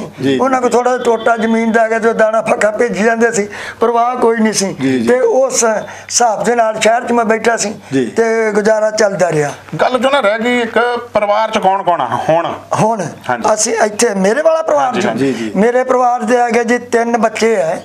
ਇੱਕ ਲੜਕੀ ਦੋ ਲੜਕੇ ਹੈ। ਲੜਕੀ ਵਿਆਹੀ ਆ ਲੜਕੇ ਵਿਆਹੇ ਆ ਜੀ। ਗਾ ਉਹਨਾਂ ਲੜਕਿਆਂ ਦੇ ਇੱਕ ਲੜਕਾ ਮੇਰਾ ਛੋਟਾ ਉਹਨੂੰ ਢੋਲਕ ਦਾ ਸ਼ੌਕ ਹੈ ਜੀ ਅੱਛਾ ਜੀ। ਪਹਿਲਾਂ ਉਹ ਡਰਮ ਸੈੱਟ ਵਜਾਉਂਦਾ ਸੀ ਜੀ।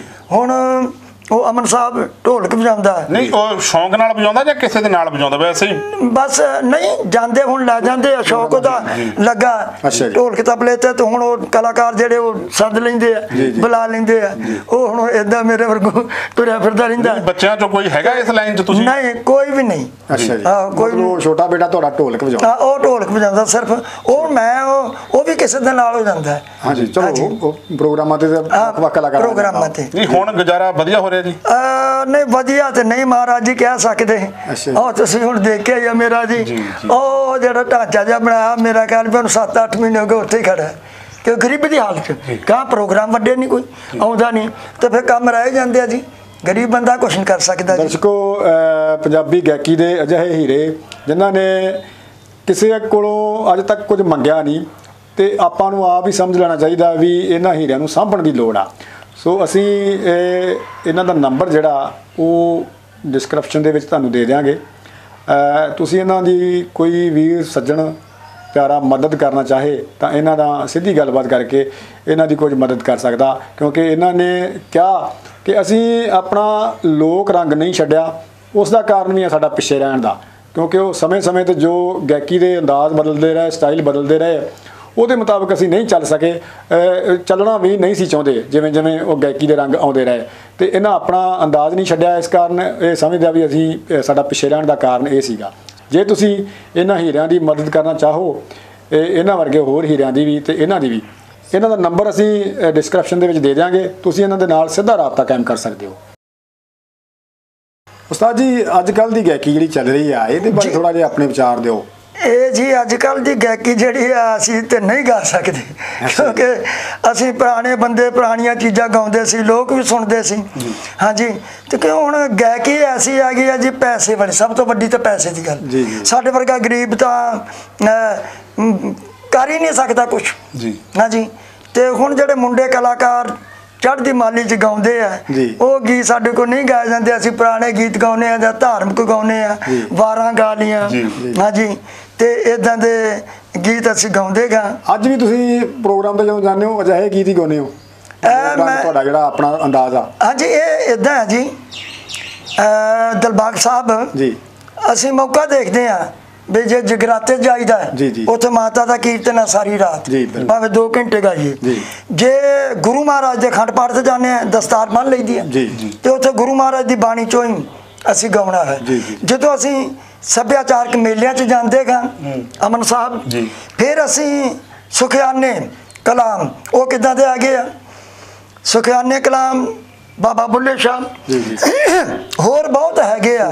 ਜਿਹੜੇ ਅਸੀਂ ਗਾਉਂਦੇ ਗਾ ਤੋ ਜਿੰਨੇ ਰੱਬ ਦੇ ਯਾਰ ਪਿਆਰੇ ਆ ਬੈਠੇ ਨੇ ਰਲ ਕੇ ਸਾਰੇ ਸਾਹਮਣੇ ਬੈਠੇ ਫਕਰ ਫਕੀਰ। ਜੀ ਜੀ ਜੀ। ਜਿੰਨੇ ਰੱਬ ਦੇ ਯਾਰ ਪਿਆਰੇ ਆ ਬੈਠੇ ਨੇ ਰਲ ਕੇ ਸਾਰੇ ਬੈਠੇ ਗੁਰੂ ਤੇ ਚੇਲਾ ਉੱਠੇ ਤੇ ਬੈਠਾ ਦੇਖਦਾ ਅੱਜ ਭਗਤ ਕਰਾਉਂਦੇ ਮੇਲਾ। ਰੱਬ ਨੂੰ ਕਿਹਾ ਉਹ ਕੋਠਾ ਰੱਬ ਦਾ। ਕੋਠੇ ਤੇ ਬੈਠਾ ਦੇਖਦਾ ਤੇਰੇ ਭਗਤ ਕਰਾਉਂਦੇ ਮੇਲਾ। ਰੱਬ ਦੀ ਰੱਬਨੀ ਭੱਜੀ ਆਈ। ਬੈਠਾ ਕੋਠੇ ਤੇ ਮੰਜੀ ਢਾਈ ਯਾਰ ਤੇਰੇ ਗਏ ਅਮਨ ਸਾਹਿਬ ਯਾਰ ਤੇਰੇ ਗਏ ਭਗਤ ਪਿਆਰੇ ਕਰਨੋ ਢੀਕਾ ਬੈਠੇ ਸਾਰੇ। ਛੇਤੀ ਛੇਤੀ ਪਹੁੰਚ ਜਾਵੋ ਜੀ ਕਰਦੇ ਕਿਉਂ ਕਵੇਲਾ? ਕੋਠੇ ਤੇ ਬੈਠਾ ਦੇਖਦਾ ਤੇਰੇ ਭਗਤ ਕਰਾਉਂਦੇ ਮੇਲਾ ਬਾਗੀ ਸਾਹਿਬ। ਐਦਾਂ ਦੇ ਫੇ ਸੱਭਿਆਚਾਰਕ ਮੇਲਿਆਂ ਚ ਅਸੀਂ ਗੀਤ ਗਾਉਂਦੇ ਹਾਂ। ਇਹ ਉਸਤਾਦ ਜੀ ਜਦੋਂ ਤੁਹਾਡੇ ਦੁਗਾਣਿਆਂ ਦੇ ਰਿਕਾਰਡ ਆਏ ਹਾਂਜੀ। ਤੇ ਤੁਸੀਂ ਫਿਰ ਸਟੇਜ ਤੇ ਆਪਣੀ ਸਹਿ ਗਾਇਕਾ ਵੀ ਲੈ ਕੇ ਜਾਂਦੇ ਰਹੇ ਨਾਲ? ਹਾਂਜੀ। ਜਿਨ੍ਹਾਂ ਨੇ ਤੁਹਾਡੇ ਨਾਲ ਰਿਕਾਰਡਾਂ ਦੇ ਵਿੱਚ ਰਿਕਾਰਡਿੰਗ ਕਰਵਾਈ। ਹਾਂਜੀ। ਉਹਨਾਂ ਨੂੰ ਸਟੇਜ ਤੇ ਵੀ ਜਾਂਦੇ ਰਹੇ ਉਦੋਂ ਪ੍ਰੋਗਰਾਮਾਂ ਦਾ ਕੀ ਹੁੰਗਾਰਾ ਰਿਹਾ ਤੁਹਾਡਾ ਰਿਸਪੌਂਸ ਉਦੋਂ ਪ੍ਰੋਗਰਾਮ ਜੀ ਵਧੀਆ ਸੀਗਾ ਬਸ ਸੁਣਦੇ ਲੋਕ ਬਹੁਤ ਢੰਗ ਨਾਲ ਸੀ। ਅੱਛਾ। ਆਰਾਮ ਨਾਲ ਚਾਹੇ ਕੁੜੀ ਮਾੜਾ ਵੀ ਗਾਉਂਦੀ ਹੈ ਨਾ ਲੋਕਾਂ ਨੇ ਚੁੱਪ ਕਰਕੇ ਸੁਣੀ ਜਾਣਾ ਕੋਈ ਰੌਲਾ ਨਹੀਂ। ਸਮਝਦੇ ਹੋ ਵੀ ਮਾੜਾ ਗਾਉਂਦੀਆਂ ਸੀ ਕੁੜੀਆਂ ਜਾਂ ਮੁੰਡੇ? ਮਤਲਬ ਸਾਰੇ ਬੰਦੇ ਇੱਕੋ ਜਿਹੇ ਨਹੀਂ ਹੁੰਦੇ ਜੀ। ਇਹ ਕੋਈ ਸੁਰ ਤੋਂ ਥੋੜਾ ਬਾਲਾ ਮੇਰੇ ਵਰਗਾ ਥੱਲੇ ਹੁੰਦਾ ਕੋਈ ਤਾਂ ਹੁੰਦਾ। ਤੇ ਮਤਲਬ ਫੇਰ ਵੀ ਲੋਕ ਇੰਨਾ ਮਾਣ ਕਰਦੇ ਸੀ ਕਿ ਬਹੁਤ ਜ਼ਿਆਦਾ। ਉਹਨੂੰ ਬੜੇ ਢੰਗ ਨਾਲ ਸੁਣਦੇ ਸੀਗੇ। ਹਾਂਜੀ ਤੋ ਪੰਜਾਬ ਤੋਂ ਬਿਨਾ ਹੋਰ ਕਿੱਥੇ ਕਿੱਥੇ ਗਾਇਆ? ਮੈਂ ਤਾਂ ਵੀ ਲੋਕਲੀ ਗਾਇਆ ਜ਼ਿਆਦਾ? ਲੋਕਲੀ ਜ਼ਿਆਦਾ ਗਾਇਆ ਜੀ। ਵੱਧ ਤੋਂ ਵੱਧ ਮੈਂ ਸਿਰਫ ਦਿੱਲੀ ਅੱਛਾ ਜੀ। ਤੇ ਜਾਂ ਮੈਂ ਅਸਾਰ। ਬਸ ਇੰਨੇ ਕੇ ਏਰੀਆ ਗੰਗਾ ਨਗਰ। ਰਾਜਸਥਾਨ। ਰਾਜਸਥਾਨ। ਜੀ। ਕਦੇ ਇੰਡੀਆ ਤੋਂ ਬਾਹਰ ਦਾ ਸਬੱਬ ਨਹੀਂ ਬਣਿਆ? ਇਹ ਹਾਂ ਬਣਿਆ ਜੀ। ਅੱਛਾ ਜੀ। ਅਮਨ ਸਾਹਿਬ ਬਣਿਆ ਆ ਕਿ ਮੈਂ ਇੱਕ ਬੰਦਾ ਉਹਦਾ ਨਾਮ ਸੁਰਿੰਦਰ ਸ਼ਿੰਦਾ ਇਹ ਉਧਰੇ ਰਹਿੰਦਾ ਜੀ। ਅੱਛਾ, ਇੱਕ ਤਾਂ ਸੁਰਿੰਦਰ ਸ਼ਿੰਦਾ ਆਪਣਾ ਗਾਇਕ ਹੈ ਨਾ। ਹਾਂ ਜੀ। ਤੇ ਉਹ ਸੁਖਸ਼ਿੰਦਰ ਸ਼ਿੰਦਾ ਤੁਸੀਂ ਜੀ। ਕਿਹਨਾਂ ਦੀ ਗੱਲ ਕਰਦੇ ਹੋ? ਇੱਕ ਗਾਇਕ ਸੁਖਸ਼ਿੰਦਰ ਸ਼ਿੰਦਾ ਜੀ ਹਾਂ ਜੀ, ਇੱਕ ਸ਼ਿੰਦਾ। ਸੁਖਸ਼ਿੰਦਰ ਸ਼ਿੰਦਾ ਜੀ ਨੇ। ਨਹੀਂ, ਉਹ promoter ਨੇ ਇਹ ਪ੍ਰਮੋਟਰ ਹੈ। ਮੈਂ ਗੱਲ ਕਰ ਰਿਹਾ ਜੀ। ਉਹ ਪ੍ਰਮੋਟਰ ਆਇਆ ਤਾਂ ਮੈਂ ਜਲੰਧਰ ਗਿਆ ਸੀਗਾ। ਜਲੰਧਰ ਰੰਜਨਾ ਕੁਮਾਰੀ ਜੀ ਹੁਣ ਸਾਰੇ ਉੱਥੇ ਸੀਗੇ ਤੇ ਉਹ ਕਹਿਣ ਲੱਗੇ ਬਈ ਉਹ ਕਹਿੰਦਾ ਯਾਰ ਇੱਕ ਆ ਬੰਦੇ ਨੂੰ ਮੈਂ ਬਾਹਰ ਲੈ ਜਾਣਾ। ਅੱਛਾ ਜੀ। ਉਹਨੇ ਗੱਲਬਾਤ ਕੀਤੀ। ਜੀ। ਪ੍ਰਮੋਟਰ ਨੇ ਉਹ ਇੱਕ ਸਬਤਾ ਬੀਬਾ ਸਬਤਾ ਹੁੰਦੀ ਸੀ ਗਾਉਂਦੀ ਹੁੰਦੀ ਸੀ। ਅੱਜ ਕੱਲ ਦੱਸਿਆ ਜੀ? ਸਬਤਾ ਰਾਣੀ। ਸਬਤਾ ਰਾਣੀ। ਰਾਣੀ। ਤੇ ਉਹਦੇ ਘਰ ਵਾਲਾ ਬਹੁਤ ਚੰਗਾ ਉਹ ਕਹਿੰਦਾ ਬਈ ਚਲੋ ਉਹਨਾਂ ਨਾਲ ਲੈ ਕੇ ਮੇਰੇ ਕੋਲ ਆਏ। ਤੇ ਉਹ ਛਿੰਦੇ ਨਾਲ ਟੂਰ ਲਵਾਇਆ ਮੈਂ 3 ਮਹੀਨੇ ਗਿਆ ਇੰਗਲੈਂਡ ਚ। ਵਾਹ। ਪੱਬਾਂ ਚ ਵੀ ਪ੍ਰੋਗਰਾਮ ਕੀਤੇ। ਅੱਛਾ ਜੀ। ਤੇ ਧਾਰਮਿਕ ਗੁਰੂ ਰਵਿਦਾਸ ਮਹਾਰਾਜ ਦੇ ਵੀ ਜੀ। ਉੱਥੇ ਕੀਤੇ ਗੁਰਦੁਆਰੇ। ਜੀ। ਫਿਰ ਗੁਰੂ ਮਹਾਰਾਜ ਕਿਹੜੇ ਮੁਲਕ ਗਏ ਸੀ? ਇਹ ਇੰਗਲੈਂਡ। ਇੰਗਲੈਂਡ। ਇੰਗਲੈਂਡ ਗਿਆ ਸੀ। ਤੇ ਉਸ ਤੋਂ ਬਾਅਦ ਮਤਲਬ ਸਾਰੇ ਮੈਂ ਜੀ। ਭਗਵਾਨ ਵਾਲਮੀਕ ਮਹਾਰਾਜ ਦੇ ਜੀ। ਸਾਰੇ ਮਤਲਬ ਜਿਵੇਂ ਦਾ ਉੱਥੇ ਪ੍ਰੋਗਰਾਮ ਹੁੰਦਾ ਸੀ, ਜਿੱਦਾਂ ਦਾ ਜਿੱਦਾਂ ਪ੍ਰੋਗਰਾਮ ਸੀ। ਖੱਟਿਆ ਵੱਟਿਆ ਕੋਈ ਟੂਰ ਚੋਂ? ਨਹੀਂ ਜੀ ਐਡਾ ਨਿਕ ਗੱਲ ਬਣੀ। 3 ਮਹੀਨੇ ਦਾ ਟੂਰ ਖੱਟਾ ਵਟਿਆ ਖਟਿਆ ਵਟਿਆ ਵੀ ਕੁਛ ਨਹੀਂ ਜੀ। ਅੱਛਾ ਜੀ। ਪਰ ਮੈਨੂੰ ਵੀ ਉਧਰਲੇ ਰਵਈਏ ਦਾ ਪਤਾ ਵੀ ਨਹੀਂ ਸੀ ਦਿਲਬਾਗ ਸਾਹਿਬ। ਅੱਛਾ ਜੀ। ਕਿ ਪੈਸਾ ਦਾ ਵੀ ਨਹੀਂ ਸੀ ਪਤਾ। ਅੱਛਾ ਜੀ। ਭਈਆ ਕਿੰਨਾ ਪਾਉਂਡ ਆ 2 ਪਾਉਂਡ ਆ 5 ਪਾਉਂਡ ਆ 10 ਪਾਉਂਡ ਹੈ। ਪਤਾ ਨਹੀਂ ਸੀ। ਪਰ ਇੱਕ ਗੱਲ ਬੜੀ ਯਾਦਗਿਰੀ ਹੈ। ਬਈ ਜਦੋਂ ਮੈਂ ਅਮਨ ਸਾਹਿਬ ਜੀ। ਜਿਹੜੀ ਸਟੇਜ ਤੇ ਗਿਆ ਉੱਥੇ ਮੈਨੂੰ 10 ਬੰਦੇ 20 ਬੰਦੇ ਮਿਲਦੇ ਰਹੇ। ਉਹ ਮੈਨੂੰ ਯਾਦ ਕਰਾਉਂਦੇ ਰਹੇ। ਅੱਛਾ। ਹਾਂਜੀ। ਲੈਰੀ ਜੀ ਤੁਹਾਨੂੰ ਨਕੋਦਰ ਫਲਾਣੇ ਥਾਂ ਤੇ ਸੁਣਿਆ ਸੀ। ਹਾਂਜੀ ਕਿਸ ਨੇ ਕਹਿਣਾ ਉਹ ਲੈਰੀ ਜੀ ਤੁਸੀਂ ਤਾਂ ਤਾਂ ਬਹੁਤ ਮਤਲਬ ਮੰਡ ਚ ਗਏ ਸੀ ਸੀਨਾ ਚੌੜਾ ਹਾਂ ਜਰਾ ਯਾਰ ਮੈਨੂੰ ਪਛਾਣਦੇ ਬੰਦੇ ਦੂਜੇ ਬੇਗਾਨੇ ਚਾਦਰ ਬੰਦੇ। ਕੁੜਤਾ ਪਾਇਆ ਹੋਣਾ ਤੁਰਲੇ ਵਾਲੀ ਪੱਗ ਬੱਧੀ ਹੁੰਦੀ ਸੀਗੀ ਜੀ। ਤੇ ਚਲੋ ਜੀ ਇਹ ਰੱਬ ਦੀ ਮੇਰੀ ਪਛਾਣ ਨਹੀਂ ਉਹ ਰੱਬ ਦੀ ਪ੍ਰਮਾਤਮਾ ਦੀ ਦੇਣ ਆ ਜੀ। ਪਰਮਾਤਮਾ ਦੀ ਦੇਣ ਮੈਂ ਤਾਂ ਕੁਛ ਨਹੀਂ। ਮਾਣ ਕਰਦੇ ਆ। ਅੱਜ ਕੱਲ ਉਹ ਮਾਣ ਕਿਹੜਾ ਹੈ? ਅਮਨ ਸਾਹਿਬ ਦਿਲਬਾਗ ਜੀ। ਜੀ। ਉਹ ਮਾਣ ਹੈ। ਇਹੋ ਹੀ ਕਿ ਧੰਨ ਭਾਗ ਹੈ। ਤੁਸੀਂ ਮੇਰੇ ਘਰ ਆਇਓ। ਆ ਗਰੀਬ ਜਿਹਾ ਕਲਾਕਾਰ ਨੂੰ ਇੰਟਰਵਿਊ ਦੇ ਵਿੱਚ ਵੀ ਇਹਨਾਂ ਨੂੰ ਵੀ ਅੱਗੇ ਕਰੋ ਗਰੀਬ ਬੰਦਾ। ਮੈਂ ਬਹੁਤ ਬਹੁਤ ਧੰਨਵਾਦ ਕਰਦਾ। ਸਾਹਮਣੇ ਕੈਮਰਾ ਤੁਹਾਡੇ ਵਰਗੇ ਫਨਕਾਰਾਂ ਨੂੰ ਬੈਠੇ ਆ। ਕੋਸ਼ਿਸ਼ ਕਰੀਦੀ ਆ ਵੀ ਇਹ ਹੈ ਲੱਭਿਆ ਜਾਵੇ। ਤੁਹਾਡਾ ਪਿਆਰ। ਜੀ। ਤੁਹਾਡੀ ਮੁਹੱਬਤ ਤਾਂ ਮੈਂ ਕਈ ਵਾਰੀ ਸਟੇਜ ਤੇ ਗਾਉਣਾ ਵੀ ਆ। ਗੀਤ ਵੀ ਗਾਉਂਦਾ ਗਾ ਇੱਕ ਸ਼ੇਰ। ਇਹ ਪਿਆਰ ਦੀ ਗੱਲ ਹੈ ਬਸ ਸ਼ੇਰ ਦੀ ਗੱਲ ਹੋਈ ਥੋੜਾ ਜਿਹਾ ਤੁੰਬੇ ਨਾਲ ਫਿਰ ਆਪਣਾ ਵਨਗੀ ਹੋਰ ਪੇਸ਼ ਕਰ ਦਿਓ।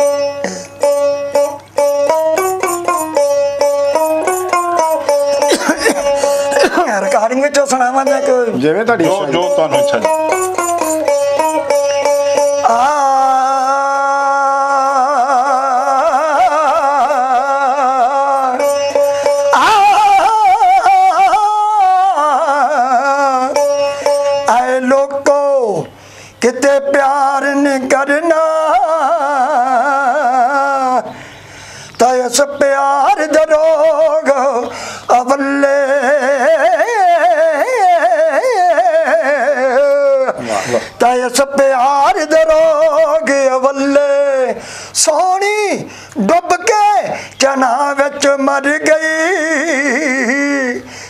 ਦਲਬਾਗ ਜੀ ਕੀ ਕਿਹਾ ਹੈ। ਤਾਂ ਮਿਰਜ਼ਾ ਮਰ ਗਿਆ ਜੰਡ ਦੇ ਥੱਲੇ ਅਜੇ ਤੱਕ ਲਹਿਰੀ ਅਮਨ ਜੀ ਆ ਪਿਆਰ ਬੈਠਾ ਹੈ। ਆ ਪਿਆਰਾ ਦਿਲਬਾਗ ਜੀ। ਅਜੇ ਤੱਕ ਲਹਿਰੀ ਪਿਆਰ ਛੁਪ ਨਹੀਂ ਸਕਿਆ ਤਾਂ ਇਸ ਪਿਆਰ ਦੇ ਬੱਲੇ ਹੀ ਬੱਲੇ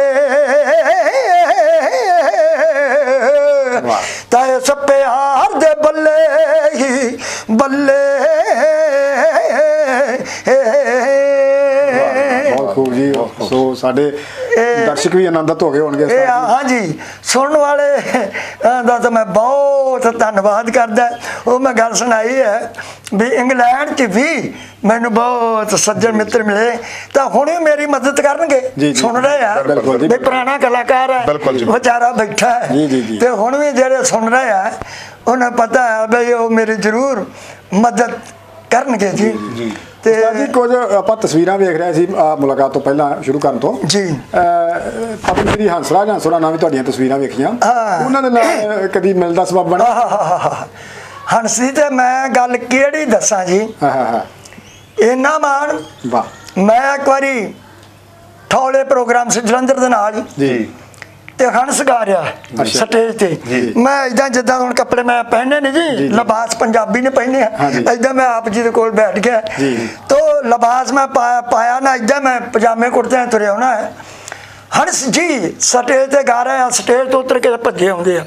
ਜਨਤਾ ਦੇ ਵਿੱਚ ਦੀ ਭੱਜੇ ਆਉਂਦੇ ਆ ਭੱਜ ਕੇ ਆ ਕੇ ਤੇ ਮੇਰੀ ਬਾਹ ਫੜ ਕੇ ਸਟੇਜ ਤੇ ਲੈ। ਦੇਖੋ ਪਿਆਰ ਆ ਜਿਹੜੀ ਮੈਂ ਹੁਣ ਪਿਆਰ ਦੀ ਗੱਲ ਸ਼ੇਅਰ ਕਿਹਾ ਐਡਾ ਵੱਡਾ ਹਰਸੀ ਦਾ ਪਿਆਰ। ਉਥੋਂ ਭੱਜਿਆ ਸਟੇਜ ਤੇ ਮੈਨੂੰ ਲੈ। ਮੇਰਾ ਨਾਂ ਉਹਨਾਂ ਨੇ ਦੱਸਿਆ। ਵੀ ਇਹ ਸਵਰਨਜਨ ਲਹਿਰੀ ਜੀ ਤੇ ਮੈਂ ਨੀਵੀਂ ਪਾ ਕੇ ਖੜ ਗਿਆ। ਮੈਂ ਕਿਹਾ ਐਡਾ ਵੱਡਾ ਫਨਕਾਰ ਬੱਲੇ ਬੱਲੇ ਯਾਰ ਕਿੱਥੋਂ ਮੈਨੂੰ ਲੈ ਕੇ ਆਇਆ? ਐਡਾ ਉਹਨਾਂ ਨੇ ਮੇਰਾ ਵੱਡਾ ਮਾਣ ਕੀਤਾ। ਤੇ ਗਾਰਾ ਸੀ ਗੀਤ ਉਹ ਠੋਡੀ ਤੇ ਤੈਨ ਤੇਰੀ ਬਾਹਾਂ ਤੇ ਮੋਰਨੀ ਤੋਂ ਹੰਸ ਇਹ ਗੀਤ ਗਾ ਰਿਹਾ ਸੀ ਸਟੇਜ ਤੇ। ਉਸ ਬੰਦੇ ਨੇ ਬੱਲੇ ਬੱਲੇ ਬੱਲੇ ਮਹਾਰਾਜ ਨੇ ਉਹਨੂੰ ਦਿੱਤਾ ਵੀ ਬੜਾ ਜਿਹਾ ਅਸਲ ਮਨਿਸਟਰ ਬਣ ਕੇ ਬੈਠੇ।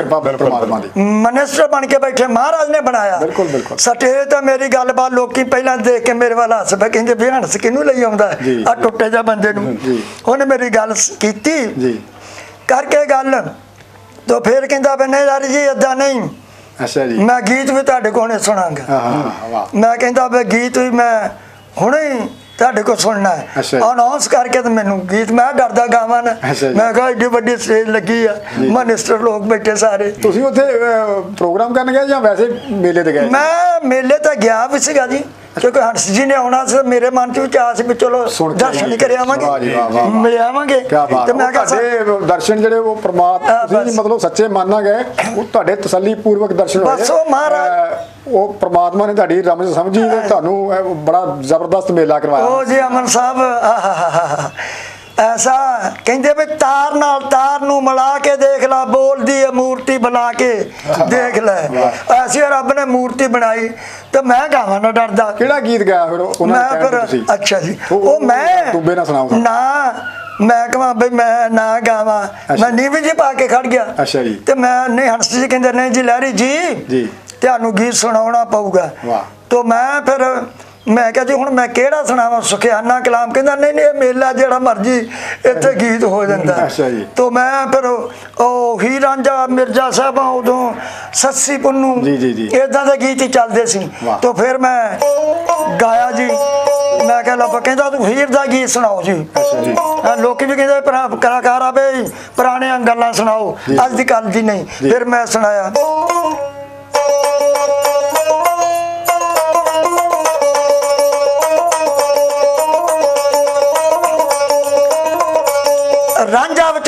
ਹੀਰ ਨੂੰ ਕਹਿਣ ਲੱਗਾ ਐ ਹੀਰੇ ਤੇਰਾ ਕੋਈ ਕਸੂਰ ਨਹੀਂ। ਅਮਨ ਸਾਹਿਬ ਜੀ।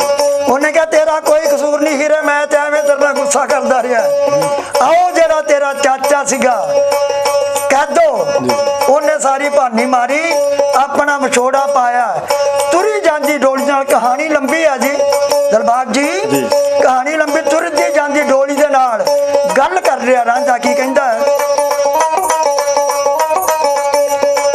ਗੱਲ ਸੁਣ ਲਾ ਨੀ ਹੀਰੇ ਚੜ ਗਈ ਡੋਲੀ ਬੰਨ ਕਲੀਰੇ। ਗੱਲ ਸੁਣ ਲਾ ਨੀ ਹੀਰੇ ਚੜ ਗਈ ਡੋਲੀ ਬੰਨ ਕਲੀਰੇ। ਉਹ ਰਾਂਝਾ ਤੇਰਾ ਦੱਸ ਦੇ ਕਿੱਥੇ ਜਾਵੇ ਨੀ। ਕਿਹੜੀ ਹੀਰ ਦੀ ਜਾ ਕੇ ਚੂਰੀ ਖਾਵੇ ਨੀ। ਹੁਣ ਕਿਹੜੀ ਹੀਰ ਦੀ ਜਾ ਕੇ ਚੂਰੀ ਖਾਵੇ ਨੀ। ਇਦਾਂ ਦਾ ਗੀਤ ਅਮਨ ਸਾਹਿਬ ਪਹਿਲਾਂ ਲੋਕ ਸੁਣਦੇ ਸੀਗੇ। ਤੇ ਸੱਚੀ ਵੀ ਹੈਗੀ ਆ ਤੋ ਹੀਰ ਵੀ ਆ ਵਿੱਚ ਇਦਾਂ ਦੇ ਗੀਤ ਸਾਰੇ ਚੱਲਦੇ ਹੁੰਦੇ ਸੀਗੇ। ਤੋ ਇਦਾਂ ਦੇ ਅਸੀਂ ਗਾਉਂਦੇ ਰਹੇ ਮਹਾਰਾਜ। ਇਹਨਾਂ ਗੀਤਾਂ ਨੂੰ ਸਾਨੂੰ ਲੋਕ ਸੁਣਦੇ ਰਹੇ। ਬਹੁਤ ਬਿਲਕੁਲ ਜੀ, ਵਧੀਆ। ਬਿਲਕੁਲ ਜੀ। ਹੋਰ ਪੁਰਾਣੇ ਅੰਗ ਇੱਕ ਮੈਂ ਲਾ ਕੇ ਦੱਸਦਾ। ਹਾਂਜੀ ਹਾਂਜੀ ਹਾਂਜੀ, ਦਿਓ, ਅਮਨ ਸਾਹਿਬ। ਆਉਣ ਦੋ ਜੀ ਉਹ ਪੁਰਾਣਾ ਅੰਗ ਹੈ ਅੱਜ। ਉਹ ਅੱਜ ਕੱਲ ਨਹੀਂ ਗਾਉਂਦੇ ਲੋਕ। ਜੀ, ਜੀ। ਜੀ। ਤੇ ਉਹ ਕਿਉਂ ਉਹ ਅੱਜ ਉਹ ਗੀਤ ਆਪਣਾ ਰਿਕਾਰਡ ਹੋਇਆ ਹੈ। ਅੱਛਾ ਜੀ। ਹਾਂਜੀ ਦਿਲਬਾਗ ਸਾਹਿਬ ਰਿਕਾਰਡ ਆ।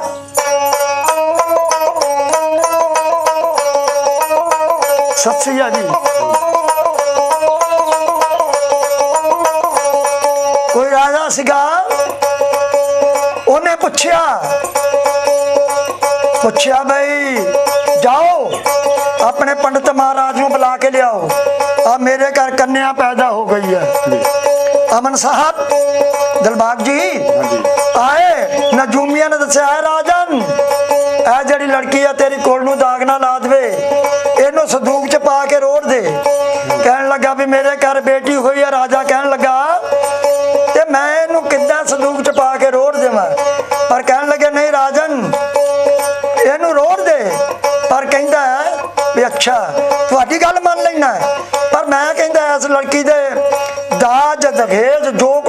ਸਾਰਾ ਮੈਂ ਸੋਨੇ ਦਾ ਸੰਦੂਕ ਬਣਾ ਕੇ ਇਸ ਲੜਕੀ ਨੂੰ ਰੋੜ ਕੇ ਆਵਾਂ ਨਦੀ 'ਚ ਰੋੜਿਆ ਤੇ ਅੱਤਾ ਧੋਬੀ ਉਸੇ ਸ਼ਹਿਰ ਦਾ ਕੱਪੜੇ ਧੋਣ ਜਾਂਦਾ ਸੀ। ਸੰਦੂਕ ਆਉਂਦਾ ਉਹਨੇ ਦੇਖਿਆ ਉਹਦੇ ਘਰ ਕੋਈ ਔਲਾਦ ਨਹੀਂ ਸੀ। ਕਹਾਣੀ ਲੰਬੀ ਹੈ ਇੱਥੇ ਮੈਂ ਸ਼ੁਰੂ ਕਰ ਦਿੰਦਾ ਜੀ ਬਹੁਤ ਕਿਉਂਕਿ ਇਹ ਪੁਰਾਣੇ ਰਾਗ ਲੰਬੇ ਹੁੰਦੇ ਆ ਜੀ।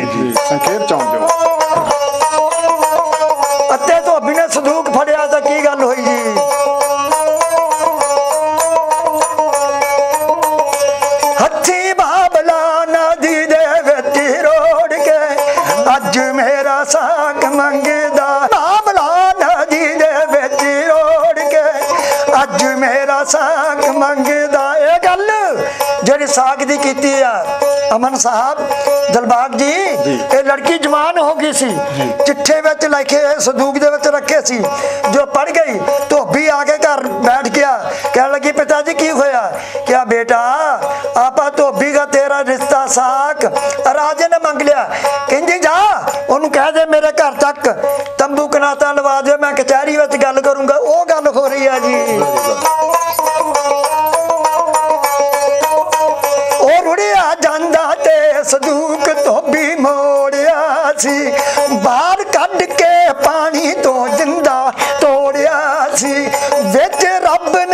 ਸਬਬ ਕੈਸਾ ਜੋੜਿਆ ਸੀ?